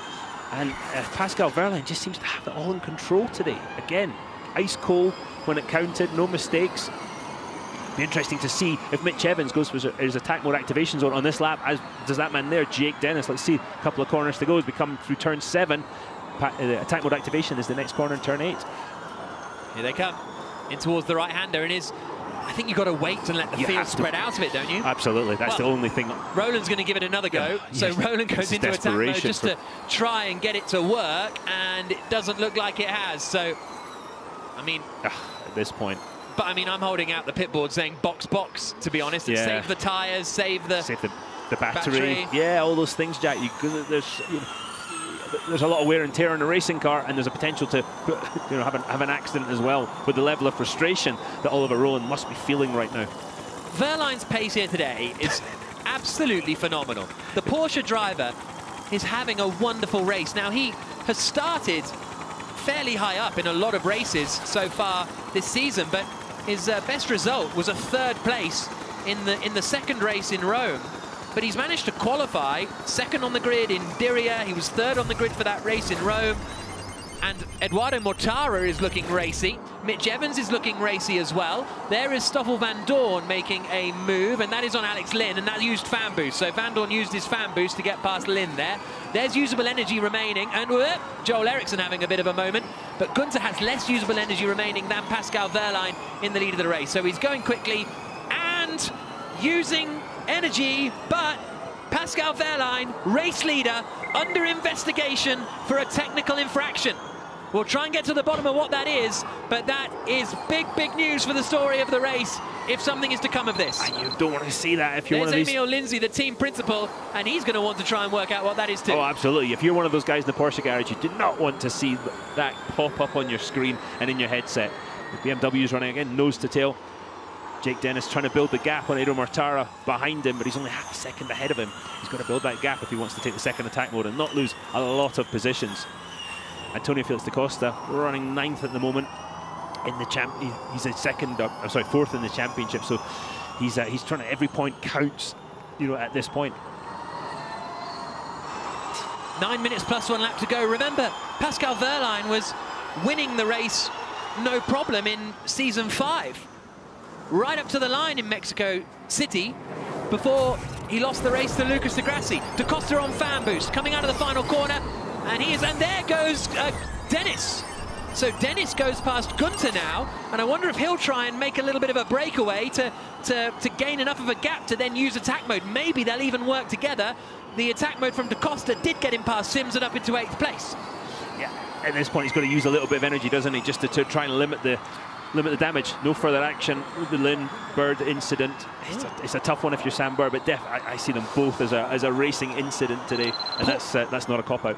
Porsche don't know what the problem is. Amiel Lindesay, the team principal, unaware of what it is. So we will get to the bottom of it as soon as someone knows. Obviously, someone. Oh, the out there knows. know. Exactly. They, they're not telling us what it is, though. But uh, Porsche uncertain at the moment. So we'll try and get to the to the bottom of that as quickly as possible, as will the Porsche team. And uh, Wehrlein, I mean, maybe the technical infraction is just being too fast. Too dominant. Because he's been absolutely awesome today. There's no other word for it. Yeah. He's been absolutely on it. Cool as a cucumber on the grid, totally focused. And uh, yeah, really a, a fabulous job Ah. so far. Oh, Rowland Buemi and Lotterer are also under investigation. So two Porsches and two Nissan e.dams are under investigation for a technical infraction for the same thing. They're all the same thing. So two teams, both cars. who were on the front row. And see Mortara looking, he's going to have a go at Max Gunther. Max Gunther defends to the inside. Dramatically Oh, big lock up on the rear. Mortara, he's done that before, hasn't he, in uh, Rome on the final lap, has a huge lockup, saves it again. He loves a good old save, Mortara. I wonder if he's grabbed the, the regen paddle and it's just overdone it maybe, but that was that was quite impressive. You know, Stig Blomqvist, Ari Vatanen, they'd be proud of that one, wouldn't they? Seven minutes to go. On board with Lucas di Grassi. He's running in fifth place. He's still ahead of Mitch Evans. Now, Evans and Dennis are going to have to take their attack mode soon because you have to use it all up by the time you finish the race. And the last thing they want is what happened in Rome, where the race goes under full course yellow and they Yeah. can't use it, then they're at the back of the grid. So you've got to, got to keep, bear that in mind too. That's a potential pitfall. Very tough one to call. If it finishes like this, Pascal Wehrlein will move second in the championship, one point behind Robin Frijns. But he's under investigation, so who knows? Six and a half minutes plus one lap to go. Dennis is now pulling away a little from Gunther. I don't know if uh, it was a, it was the quickest lap of the race for Jake Dennis. Gunther was a second slower, so he's trying to build that gap up. Jake Dennis in second place.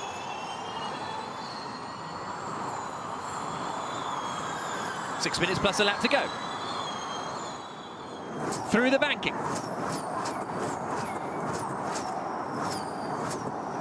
Tell me that's not cool. It's great. Look at the yaw in the cars too, as we see Mortara again attacking Max Gunther. Gunther with another subtle defensive manoeuvre. Subtle. So is he just is he just kind of being as uh, De Vries goes past Alex Lynn? Is he defending that dramatically to back them up? Is that is that the plan for Gunther here? Uh, very well could be. You can see Alex Lynn is struggling a bit on energy, but he's brought it back. But the, you know, the, the Mahindra cannot really compete with the, the Mercedes guys. They started at the back and they're making their way back through to Fries after being harpooned earlier by Robin Frijns. Yep, there he goes. Dennis takes attack mode now, as does Mitch Evans.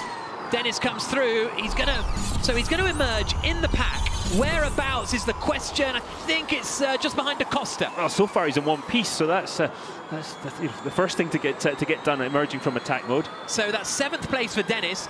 Now he has to try and fight his way up the order, and Mortara sends it in at 11, and Gunther's getting mugged.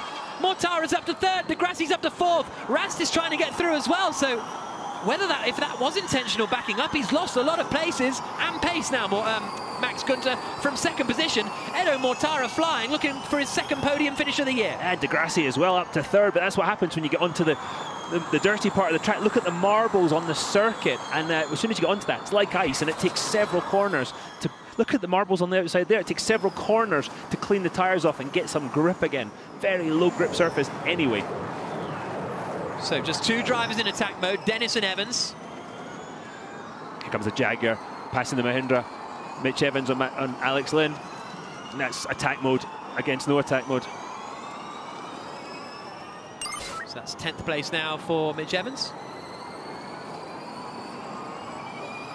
Four minutes plus one lap to go. Eduardo Mortara in the ROKiT Venturi is up into second position. Really strong drive this from the uh, from the Swiss racer. Uh, he's up ahead of Lucas di Grassi, who's also had a great drive. Pascal Wehrlein in the lead has had a great drive, but he and his teammate Andre Lotterer and the two Nissan e.dams cars are under investigation for a technical infraction. Bold from Rast, and he makes it through. Forces his way past Gunther. Classic Rene Rast style. Oh, and there's contact there as Da Costa tries to get past Gunther as well. To the outside, Gunther's struggling. This is surely heading straight to the wall, no, but it has allowed Jake Dennis to get through ahead of Da Costa. So the BMWs that were running second and third, now running fifth and sixth. Dennis didn't get ahead of Gunther, but he has got ahead of Da Costa, who's dropped to seventh. And Max Gunther is in all kinds of trouble. And I don't know if he's overheated the tyres and we're just we're going to start seeing this the, the start of that downward spiral or not, but he is in all kinds of problems. Will two safety cars help the tyre wear? Yeah, absolutely. It cools the tyres down as well, which is equally important. It's not so much to wear, it's, it's temperature. It's, it's just the thermal, you know, the thermal properties of the tyre. As we see Jake Dennis going past his teammate Max Gunther. Oh, ah, oh, Da Costa locking up, just making the corner. But he's losing out here to Alexander Sims. Sims gets through. Absolutely ginormous lockup from Antonio Felix da Costa. He was about to try and take fifth position. He's now down in eighth place in the DS Techeetah after fighting so hard to get up the order. Vandoorne is in ninth. Evans is in tenth. Evans can see two places ahead of him because he's still got two minutes of attack mode to go. So Wehrlein leads by miles. Mortara is second, Di Grassi third, Rast fourth, who's having a good race. In fact, this is a great day for Audi. Finally, to be honest, after the year that they've had, Dennis is in fifth. And Rast has got 1% more energy than Di Grassi. That, that allows him to stay on the throttle just a bit longer. And Di Grassi has more than Mortara, so these three are in reverse order. And if Wehrlein gets this could be for the win of the Puebla E-Prix. And trust me, Lucas Di Grassi is well aware of that, as, as is Edo Mortara. But Di Grassi's car, the body language of it, it just looks so much more comfortable right now. Frustration for Jerome D'Ambrosio. He's won in Mexico before, back in the first visit here. Allan McNish, don't actually know if he's won in Mexico. He's won everywhere, Well, pretty much. That's true, but here they come. One minute 30 plus a lap to go. On board with di Grassi. He's right up behind him. The fight for second place goes for it. Degrassi through. And that's that 1% of energy. Jackie can just stay on the throttle longer. That's him up to second. But I mean, he's not catching on track. He's not catching Pascal Wehrlein. But as you say, if Wehrlein gets a, gets a penalty, this is for the win. Jake Dennis has run out of attack mode in there in uh, fifth position now. He and Evans have both used up all their attack modes, as has everyone in the field, basically except Oliver Rowland, who has pitted and retired from this one.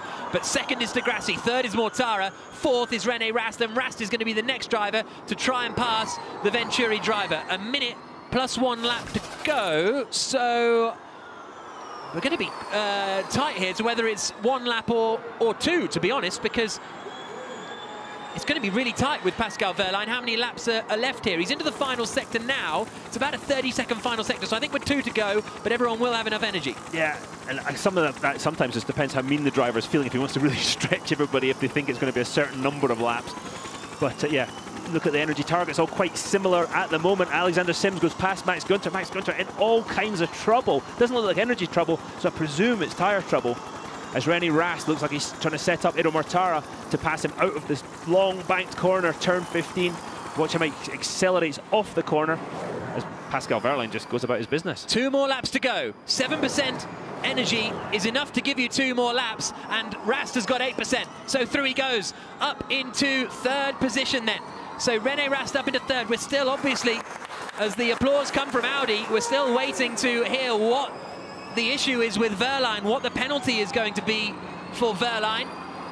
Da Costa's got ahead of Gunther now, so Gunther all of a sudden down to eighth position. BMW's pace has slipped away. And Mortara's six seconds ahead of Jake Dennis. So, you know, I think he's, he's quite safe there. And uh, is in a fight here with the Dragons down in 17th position. Well, he's had a bit of a moment. And look at this train of cars from Max Gunther. He's holding everybody up. What, where does that go down to? See the Jaguars involved, the NIOs involved. And at the back of the train is Sette Camara, 18th. So that's about a 10-car train. It's quite, uh, quite impressive. And then at the other end of things, we have Pascal Wehrlein. Well, in the lead, but under investigation. Yeah, but that doesn't make any difference to the job he's done today. Sometimes, yeah. You wonder why somebody's so quick. In days like this, Pascal Wehrlein's wondering where everybody else is, why why they're not as quick as he is. That's phenomenal job. Here comes Wehrlein across the line then to start the final lap of the race. He's got 3% energy remaining. It's a bit like season five, isn't it? di Grassi closing in on, well, but he's not closing in. Wehrlein has got this one surely under control, but is it going to be taken away from him as it was in season five? There's that huge train of cars. Da Costa on the attack, Gunther defending. There's a lockup from Stoffel Dorn. There's a lockup from Nyck de Vries. They all still manage to hit the apex. Wehrlein is still leading the way.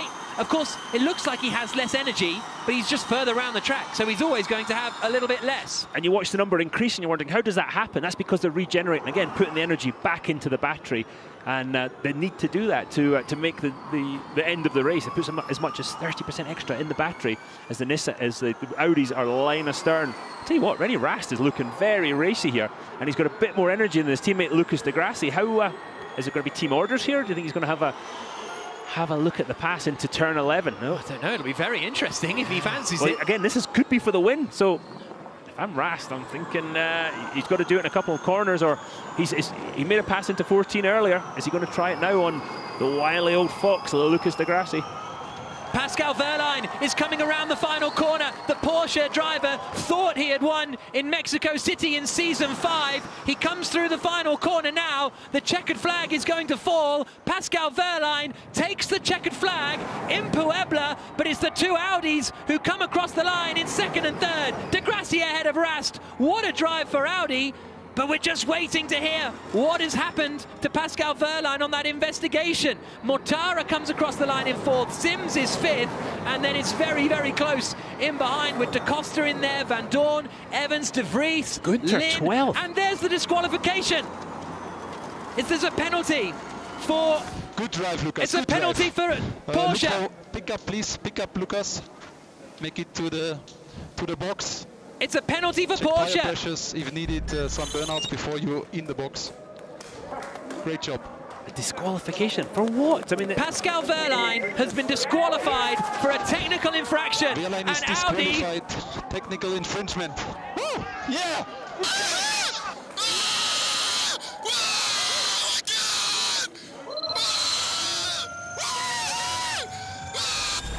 How many times has he won Mexico now? Lucas Di Grassi wins for the third time in Mexico. That is his first win, the Brazilian, for a long, long time. Superb drive. His last victory came 21 races ago at the end of season five.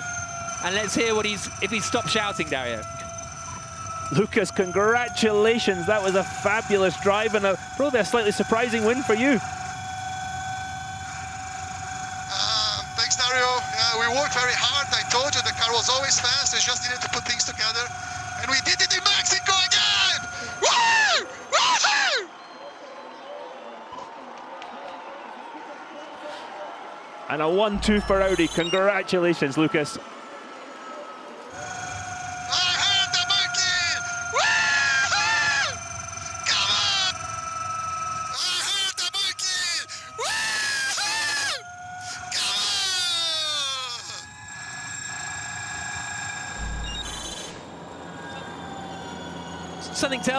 We might be seeing another topless Lucas di Grassi. We saw it when he uh, when he won brilliantly all those years ago in Mexico. Let's, I mean, a fabulous job by Lucas di Grassi. And Rene Rast. Spare a thought for Pascal Wehrlein. I mean, he was imperious form today. Mighty. Oh, a bit of donuts. Good lad. Don't hit the wall, though. you got to use that car again tomorrow when we get to have another little play.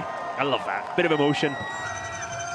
Wehrlein was about to be second in the championship.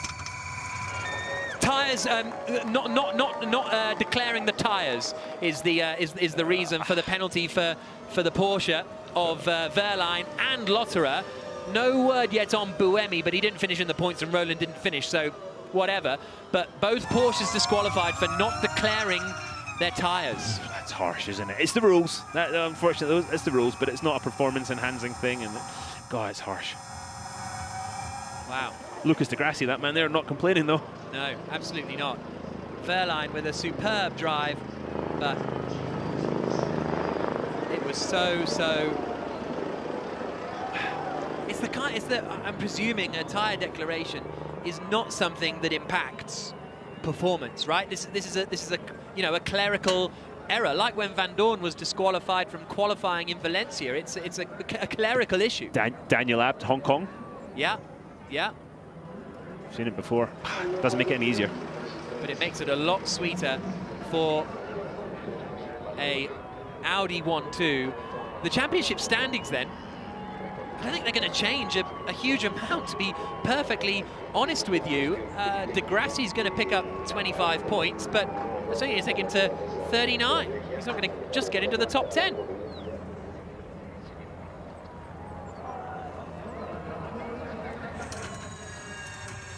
Here is Pascal Wehrlein making his way back into the pit lane. And, uh, well, what disappointment for the Porsche team. But what thrills for the Audi team. This is Rene Rast, second place finisher. There's Allan McNish, absolutely elated down at the front. And for the Audi team, that is their third 1-2 in their Formula E history. They are now with the team with most. DS Techeetah have two, and uh, Mercedes EQ have one. Third place, Eduardo Mortara.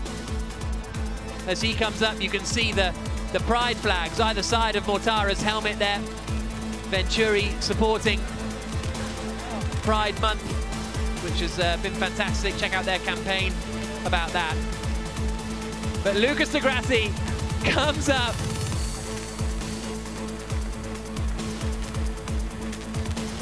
And he is the winner of a Formula E race. The local volcano here, Popocatépetl, has erupted 12 times since Lucas Di Grassi last won a Formula E race. I think now it's Di Grassi that's erupting. Didn't win a race in season six, is finally on the top step again. The season three champion and a 1-2 for Audi. Di Grassi started eighth on the grid, Rast started ninth. Others fell away, had issues, had technical problems, had disqualifications, had crashes. Audi kept it all together and take their third 1-2 in Formula E.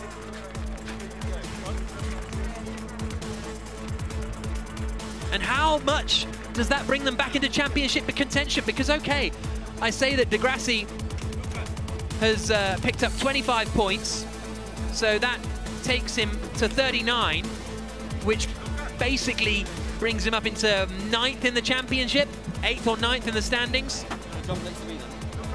And there's Wehrlein, straight to the back of the garage.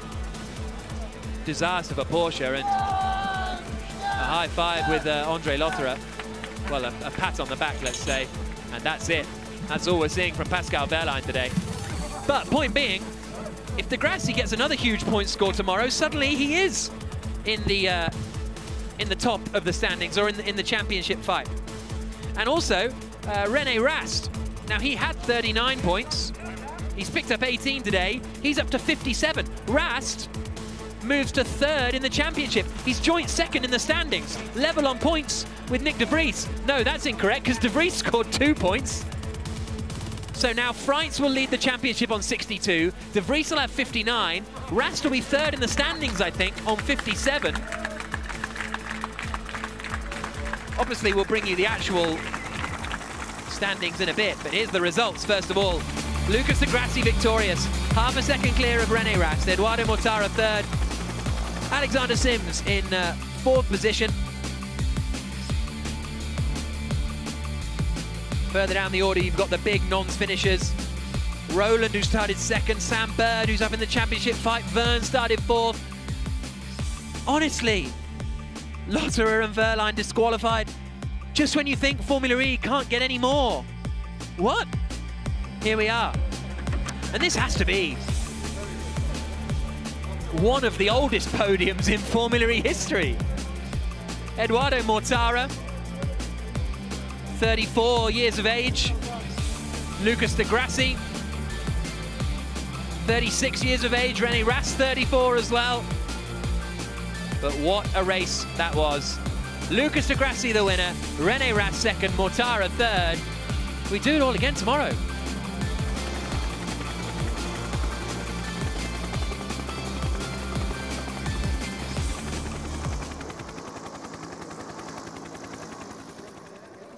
Lucas di Grassi, huge congratulations up from eighth on the grid to finish your third win here in Mexico. Congratulations. Thank you very much. I'd like to, of course, say thank you for my team. uh, we would not, uh, it's motorsport, it looks like a one person victory, but everybody in the factory put so much work uh, to get this turned around, get this luck, second half of the championship, and this win is for Audi Sport. What a way to win as well, a double Audi podium. Of course, uh, uh, I have Rene here with me, um, first podium for both of us this season. It's not because the, we didn't have the pace, we had the pace in a lot of races, but in the end we could not put things together, and today we did. And uh, we are here, so congratulations to Rene, and again, congratulations to the team. 1-2 um, is just an unbelievable result. Huge congratulations, and it makes up for that win that was stolen from you in Rome. Thank you. How ridiculous is it that this wasn't the craziest Lucas di Grassi win in Mexico? like, this, this ranks third in the crazy Lucas di Grassi wins in Mexico. Barely on the podium. This was the move for the win. And I wonder how Venturi are feeling. I wonder if they think they could have won this race. I mean, look at the pace that the Audis had in the end. Probably not. And there's the, uh, the, the that's just the happiness with second and third. Let's hear from second place. Well, Rene Rast, I can see there's a huge smile hiding under that mask. How does it feel to have your first podium this season? It feels amazing. I think uh, we showed a lot of times that we had the pace to really be on the podium, like Lucas said, but we couldn't somehow put it off. But uh, yeah, today everything just went our way, one, two. Uh, luckily, I mean, uh, we had such a such a good car again this time. And uh, Lucas said before the race he's happy with a with a podium, a double podium for Audi, and now we achieved that. So big thanks to to everybody uh, downstairs there from Audi Sport. This morning I had a bit of a crash; they had to repair the car. So thanks a lot, and it's uh, so good to be here. So does the championship fight really start now? You can hear lots of support from the fans here as well. Yeah, it's so cool to see the fans again. I had actually goosebumps when we did the uh, lap with for the fans. Uh, they were cheering. It's such a cool atmosphere, and uh, I love to, to see more fans in the future. Brilliant. Thanks very much. Enjoy the Thank celebrations. So second place for uh, Rene Rast. And this was him going past Edoardo Mortara and getting up into second place. As ever, such a busy Formula E race. Well, let's hear from the third place man. Two podiums now this season. That's when Audi realised that they had actually won and not just finished second and third. Here's Mortara. Edo Mortara, huge congratulations for a podium. How did you find out that you'd moved up a step, obviously with the disqualification of Pascal Wehrlein? Yeah, so my engineer told me uh, during the race that, uh, that, that Pascal was under investigation. Uh, anyway, when you're in the car, you try to maximize, uh, you know, the situation that you've got. And um, yeah, I knew that the, both Audis behind me had uh, a little bit more energy. So try to do an intelligent race. In the end, we are back on the podium. This is the most uh, important thing. Congrats to the team. They did an awesome uh, job during the break. And uh, congrats to Mercedes also for the awesome powertrain. Huge congratulations to you and the team. Thank you very much. Thank you. So, another podium for Edoardo Mortara. He's going to get a big, big chunk of points as well. He'll be moving up to 47 in the standings, so uh, just a couple of points behind Sam Bird. This is how quickly it can turn around in Formula E. We will uh, clear up the Make sure it's powered on, will the troubles after the uh, after the podium in terms of the actual clarifications and specifics of what went wrong. But in the past, as little as Allan McNish comes up onto the podium,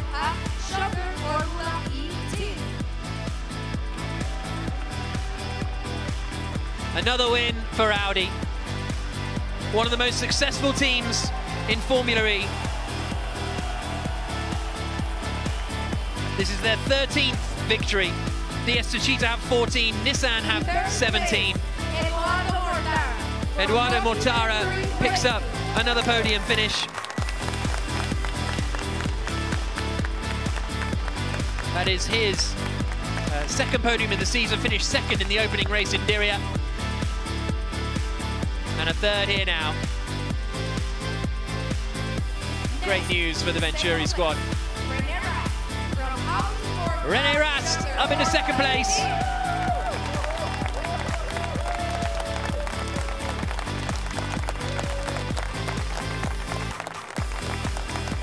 An embrace with Allan McNish. Here he comes though. As ever, the happiest man in Mexico is a Brazilian. Lucas di Grassi onto the top step once more.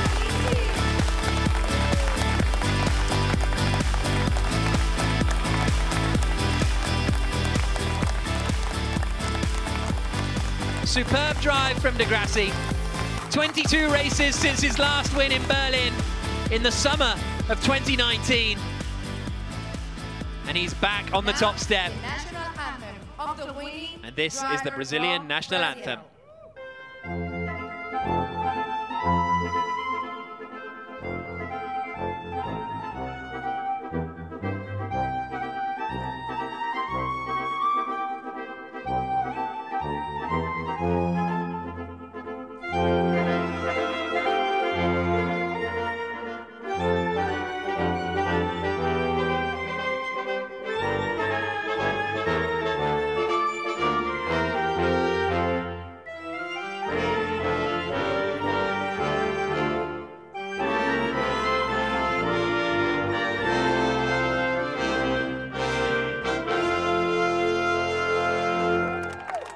The German national anthem for the Audi Sport ABT Schaeffler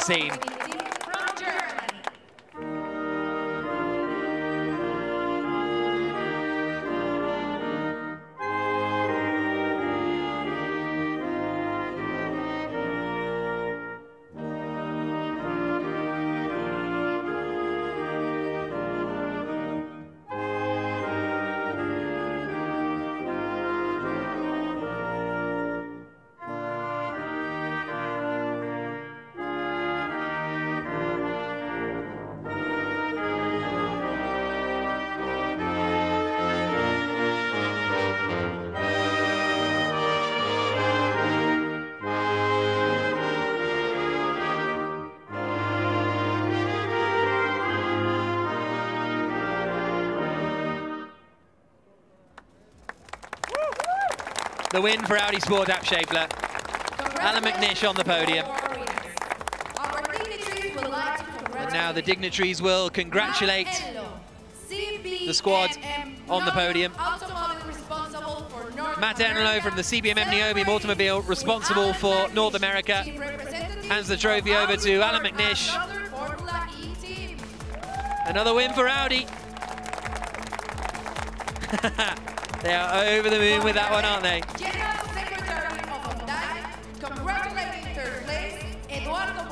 Jorge Abad, the General Secretary of the OMDAI. And one of the Abed brothers that owns this racetrack here hands the trophy over to Edoardo Mortara in third place. The Managing Director of ABB Mexico, Vicente Magana, hands the trophy to Rene Rast in second position.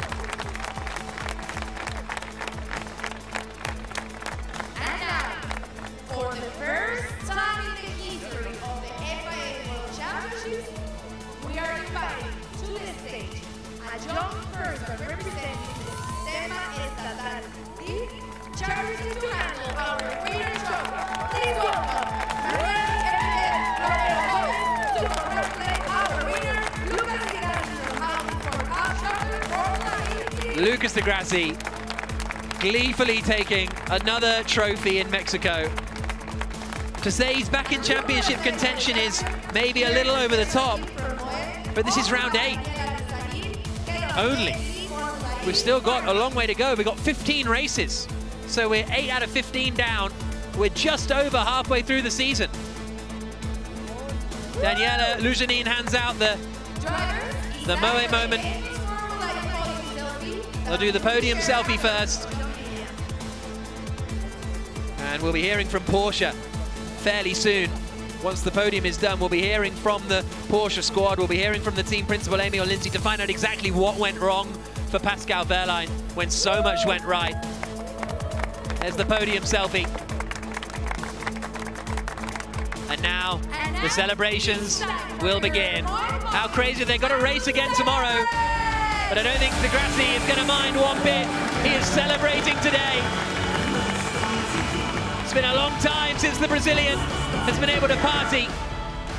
They've got to focus again for the race tomorrow. But what belief this will give the Audi squad.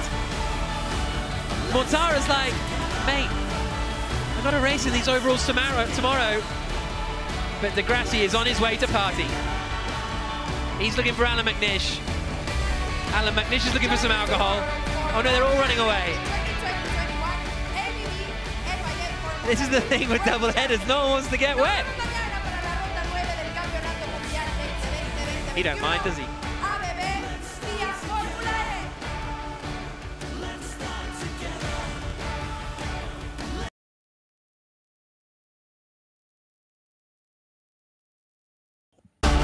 Let's stand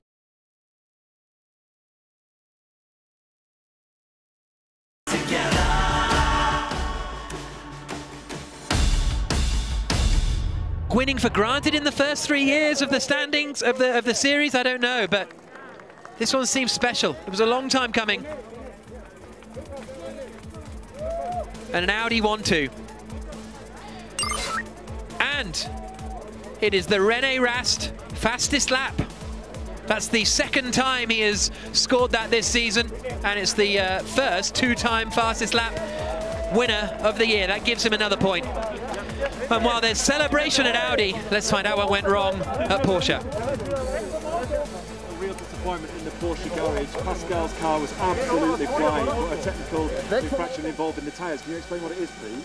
Yeah, I mean, uh, quite gutted, yeah. I mean, fantastic race from Pascal and from start to finish, absolutely uh, flawless performance. And uh, feel sorry for Pascal. Um, fortunately, the tyres were, were in the system, just not uh, one button was missing to, to, to publish them for the race. Uh, so yeah, we win as a team together and we lose as a team together, unfortunately, yeah. yeah.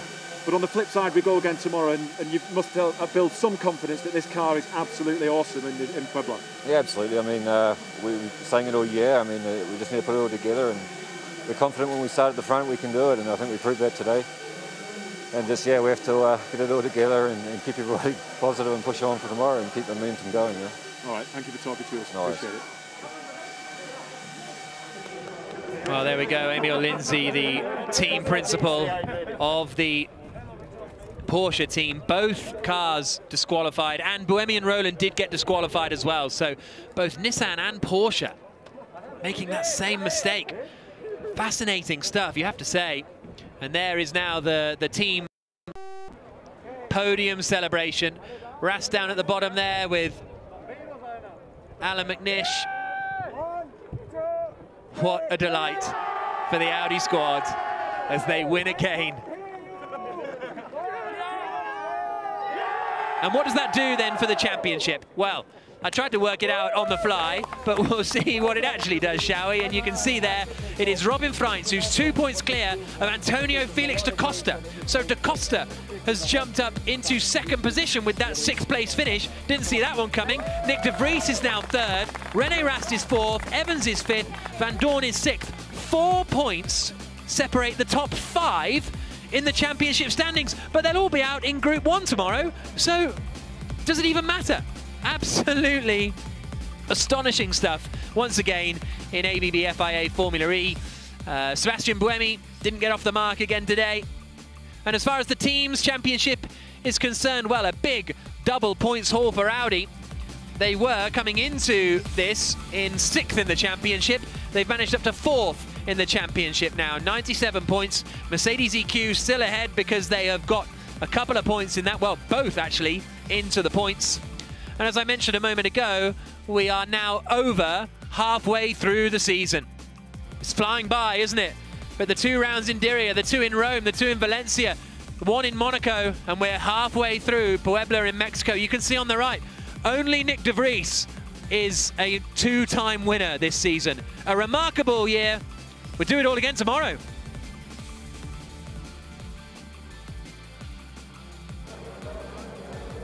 Well, Allan McNish, I mean, you know it's been a good day when you can smell the champagne in the air, don't you? It's been a fantastic day. One that's been a long time coming, though, but we're back. You know, everybody's worked so, so hard.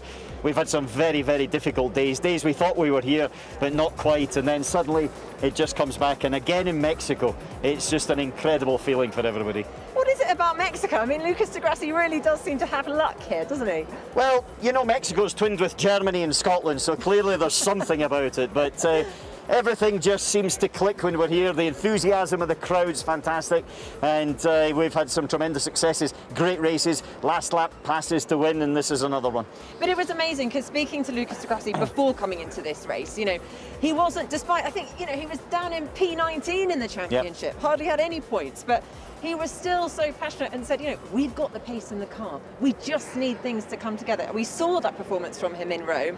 He had the race win in his hands, but unfortunately, due Yep. to that drive shaft failure. So he was still just full steam ahead and wasn't kind of deterred by From the of first race, position. we knew we had a good car. Yeah. We knew we were competitive, but we know the competition's very strong. It was about piecing it all together, and that's so difficult in this championship with the competition levels. But I have to say, everybody at Audi at home in Neuburg, everybody here at the circuit has delivered, and we'll enjoy it tonight, but we'll also know that we've got to try and do it again tomorrow. When you say enjoy, I mean that means what? Do you get at least half a glass of champagne each, or is it just Well, full-on analysis? I think it's here on my shirt more than anywhere else. Um, because you've got a lot got of two hours, to look at, right? then we've got the debrief, Okay. and at that debrief, that's when the mind starts to go. So they've got two hours to just relax and enjoy before we'll kick on with tomorrow. Brilliant. Okay, because you know, coming into this, there's been, I guess it's such an unknown, isn't it? It's a new track. We haven't had a new track since season five, so today has been a, a massive learning experience for the team. Yeah, it's a very, very different circuit. That banked corner, the final one, just the style of circuit, and also the weather conditions this morning. You know, you're always living on the edge, and with Rene having the small accident as well in free practice one, there was a bit of recovery to go. But my father always told me it wasn't the good shots that made the good golfers, it was the good recoveries, and today was a good recovery. It really, really was. Huge congratulations for a double podium, one-two here in Mexico. Thanks very much. Anna Thank you very Minish. much. Over to you, Vernon. try and summarise what we've just seen. Congratulations, of course, to the Open team. Uh, two guys on top of the podium. Edoardo Mortara is here as well. We're going to have a chat with him in just a Yeah. second. Yes, it is. Yes, my mic's on. Uh, people talking to me uh, in my ear, I do apologise. Uh, yeah, my microphone is on, so I'm going to talk to you, Dario. Uh, Dario, apart from the Porsche team and Pascal Wehrlein, who obviously we feel sorry for with the technical infringement, but we should also talk about the BMW Andretti boys. They had a 1-2 uh, at some point during that race. Yeah, Max Gunther, Jake Dennis were looking great, weren't they? And then the pace just really faded at the end, especially with Max Gunther. So I don't know what happened there, but uh, there was there was clearly an issue with them. Um, as you said, Max Gunther, you've got to just feel sorry for him. Not what they did.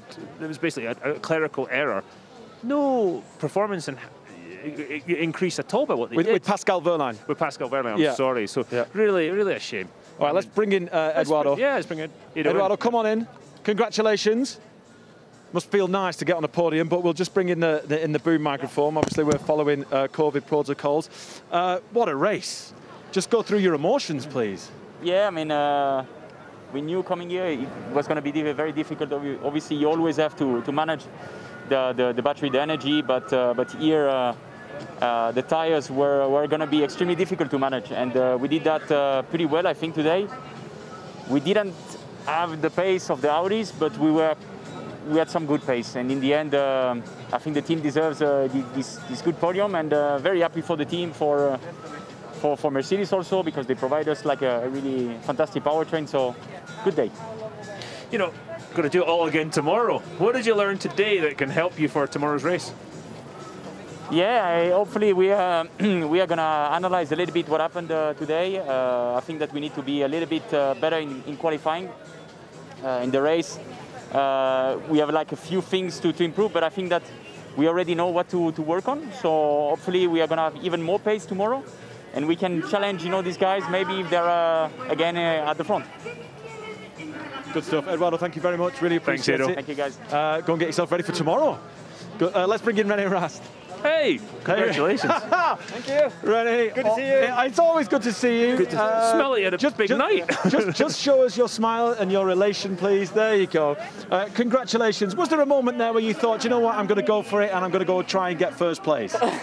no, there was not a lot of time. I think I was only two laps behind Lucas, and I knew we, we needed that uh, one-two for the championship and for Audi Sport for the whole team. So I didn't want to, to risk it. Obviously. Did you think about it though? Yes, tiny bit. I had, I had a, bit, a bit more energy, but I said, okay, just just bring it home. It's fine. Nice. Rene, did they tell you it was for the win?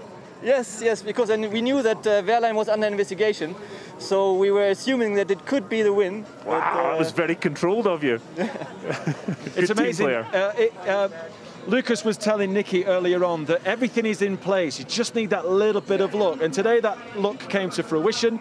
You guys obviously a double podium.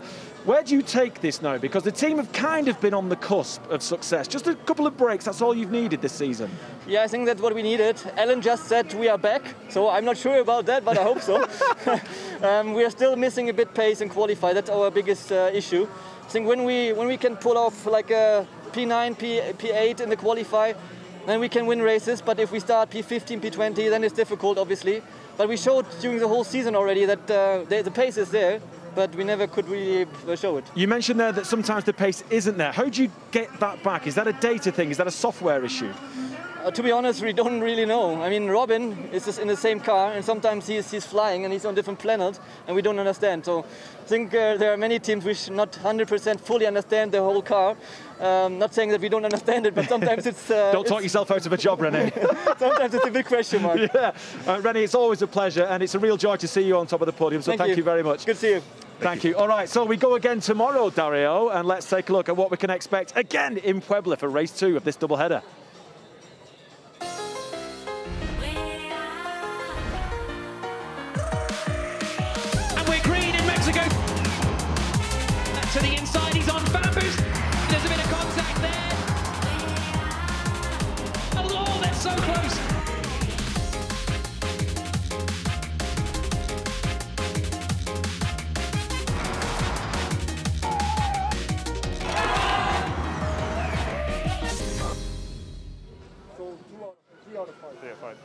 Congratulations, Lucas di Grassi. I love that smell of, of champagne, and, and so must you. Congratulations, an awesome race. Um, you said earlier on, and Nicki mentioned it, that you told her that it's, it, it's almost there. Uh, the fact that your success was hanging in the balance. Do you feel that you've achieved so much today with the 1 2 on the podium? Uh, of course, after what happened in Rome to us, uh, leading the race with two laps to the end and the drive shaft just popping out, it was very painful. Then a couple of races that we had a lot of race space, but never managed to qualify in front, so it was uh, always a difficult race. And today we did a the, the team did a fantastic job. The car was very good, and I had the pace to, to push. I lost some time in some fights, um, but yeah, the, it was amazing day again in Mexico. Mexico is very special for me. Lucas, thank you very much, Dario. Lucas, how your racecraft in Formula E? How do you get so close to the car behind you, make these moves? How, how is that possible? What's, what, where's your advantage? Well, I, I, I don't know. I tried to get very close. Here it was especially difficult to get close because you lose a lot of downforce in the last corner. So even if you're very close, it's very hard to do the last corner behind. I guess that's from ovals uh, that I don't have the experience. So actually, you cannot. I, I still have to learn that from you. Um, you have to give me some tips. But uh, the good thing about Formula E is if you- if you're close enough, you save energy because you're on the slipstream. So I try to stay as close, save energy, and attack in the right moment. Good Lucas, thank you very much. Appreciate it. Nicki, over to you.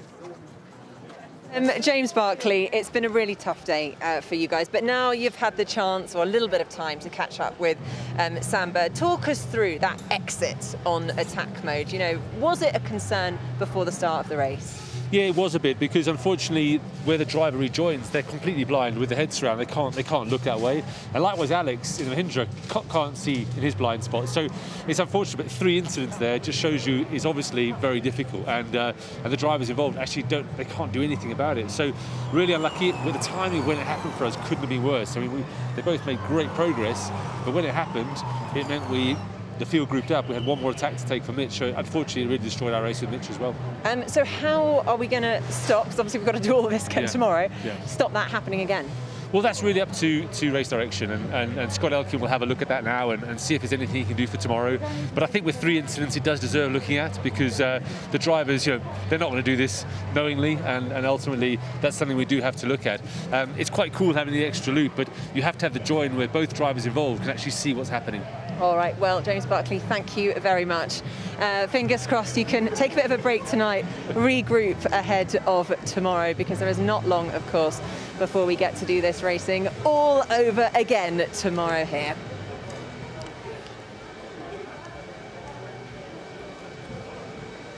Jack, Dario, uh, welcome, Jack. Thank you. He's just Have run you been running, Jack? it's the high altitude it takes it out of you. Uh, Jack, your summarisation of that race after an amazing race in Monaco, um, what do you think? Just give us your summarisation. Um, it was really busy. It was quite complicated. Attack mode was really difficult, like the altitude, and uh, and uh, you just have to feel for Wehrlein. You Yeah. have to feel for Wehrlein. You really do. Dominated it. Would have been second in the championship, a point off the lead. As it is, he's where he was. But maybe he can replicate it tomorrow and then take the championship lead. That's the thing because all of these drivers who've had good races, DaCosta up there, Rast up there now near the top of the standings, four points separating the top six. But they'll all be in Group One tomorrow, and they'll be at the back of the grid again. Yeah, well, let's get some oxygen for Jack, please. uh, Dario, did this track in Puebla do what you expected it to do? You know, it really did. We were lucky. We had a bit of cloud cover. I think that saved the tyres, you know, actually going going south a bit quicker. But it was put on a great race today. It really did. And we talked the attack mode activation zone was going to play be key. It was. Also, the join point was key. And uh, we get to do it all again tomorrow. And the teams have all got a bit more knowledge, and the drivers, some are going to be a little bit more angry than others. So, uh, yeah, fasten your seatbelts. The crazy thing for me, though, Vernon, is that's just about makes the podium of di Grassi crazy wins in Mexico. I think well, that's the remarkable yeah, part. well, right on cue. I know what you've got talk about, but right on cue. You've queued it up. We're going to see it in the big screen. Um, Lucas di Grassi once again snatching victory from Pascal Wehrlein. Well, this was this was back in the day. This is season three. They had to replace his whole rear wing. Then he pitted behind the safety car, and everybody else still had to pit. So he managed to win from 15th on the grid, and then he snatched it from Pascal Wehrlein in season five. He was, uh, and this was a big moment for di Grassi. And then season five, he was chasing Wehrlein the whole race. Wehrlein looked like he was about to take his first win, and this is the final corner. Look, Wehrlein out of energy. di Grassi takes the win. So Oh. the two of them in Mexico is is just And, al- almost put it into the Yeah, wall. the reactions Lucas had there with that slowing Mahindra in front were quite something. Uh, Pascal Wehrlein's going to start taking it personally here in Mexico, Mexico isn't he? Yeah, Yeah, uh, yeah. Jack, let's talk about how Roger Griffiths must be feeling today. Team principal of BMW. Oh, thanks. Andretti. Yeah, yeah, thanks. Um, Roger Griffiths. yeah. Um, it's tough because, uh, as you mentioned a moment ago, they were running first and second at some points, but realistically, second and third. But it just kind of slipped away. And as soon as the safety car came out and Jake Dennis had another attack mode, he was kind of out of the running. But where the pace went for Gunther, I don't know. That was the strange one because he, he was keeping the pace, seemed to have the energy. Away it goes. Was it tyres? Was it energy? Well, we'll have to find out. But he slipped so quickly. It Yeah. wasn't like one place here, one place the next lap. he just fell. If the tyres are done, you're done. Yeah, to me that was either a technical issue or the tyres just had, had enough and he just wore them out. But those guys, both those BMWs were quick today, which means they'll be quick again tomorrow. And that's the thing. So many people will have learned a lot from today. I think that's the because practice happened. We had a wet practice one, a dry practice two, but it was a bit interrupted, only half an hour. The rain's coming down now as well. Tomorrow, everyone will have a huge bank of information, so they'll be able to do a lot more and a lot better. And tomorrow will be even more competitive than it is today, which uh, I can't wait for. It's going to be great. Dario, if you're the Porsche boys and the Nissan boys uh, being disqualified today, how do you rouse the team and say, look, forget it, let's go again? Well, especially if you're the Porsche guys, you say, we've got the fastest car in the place. Let's win tomorrow. The Nissan guys, they've got a lot of work to do tonight. Easy as that. We cannot wait for tomorrow. It's going to be absolutely fantastic. And let's hope for Pascal Wehrlein he can do it again. We'll see you tomorrow live from here, Puebla, Mexico.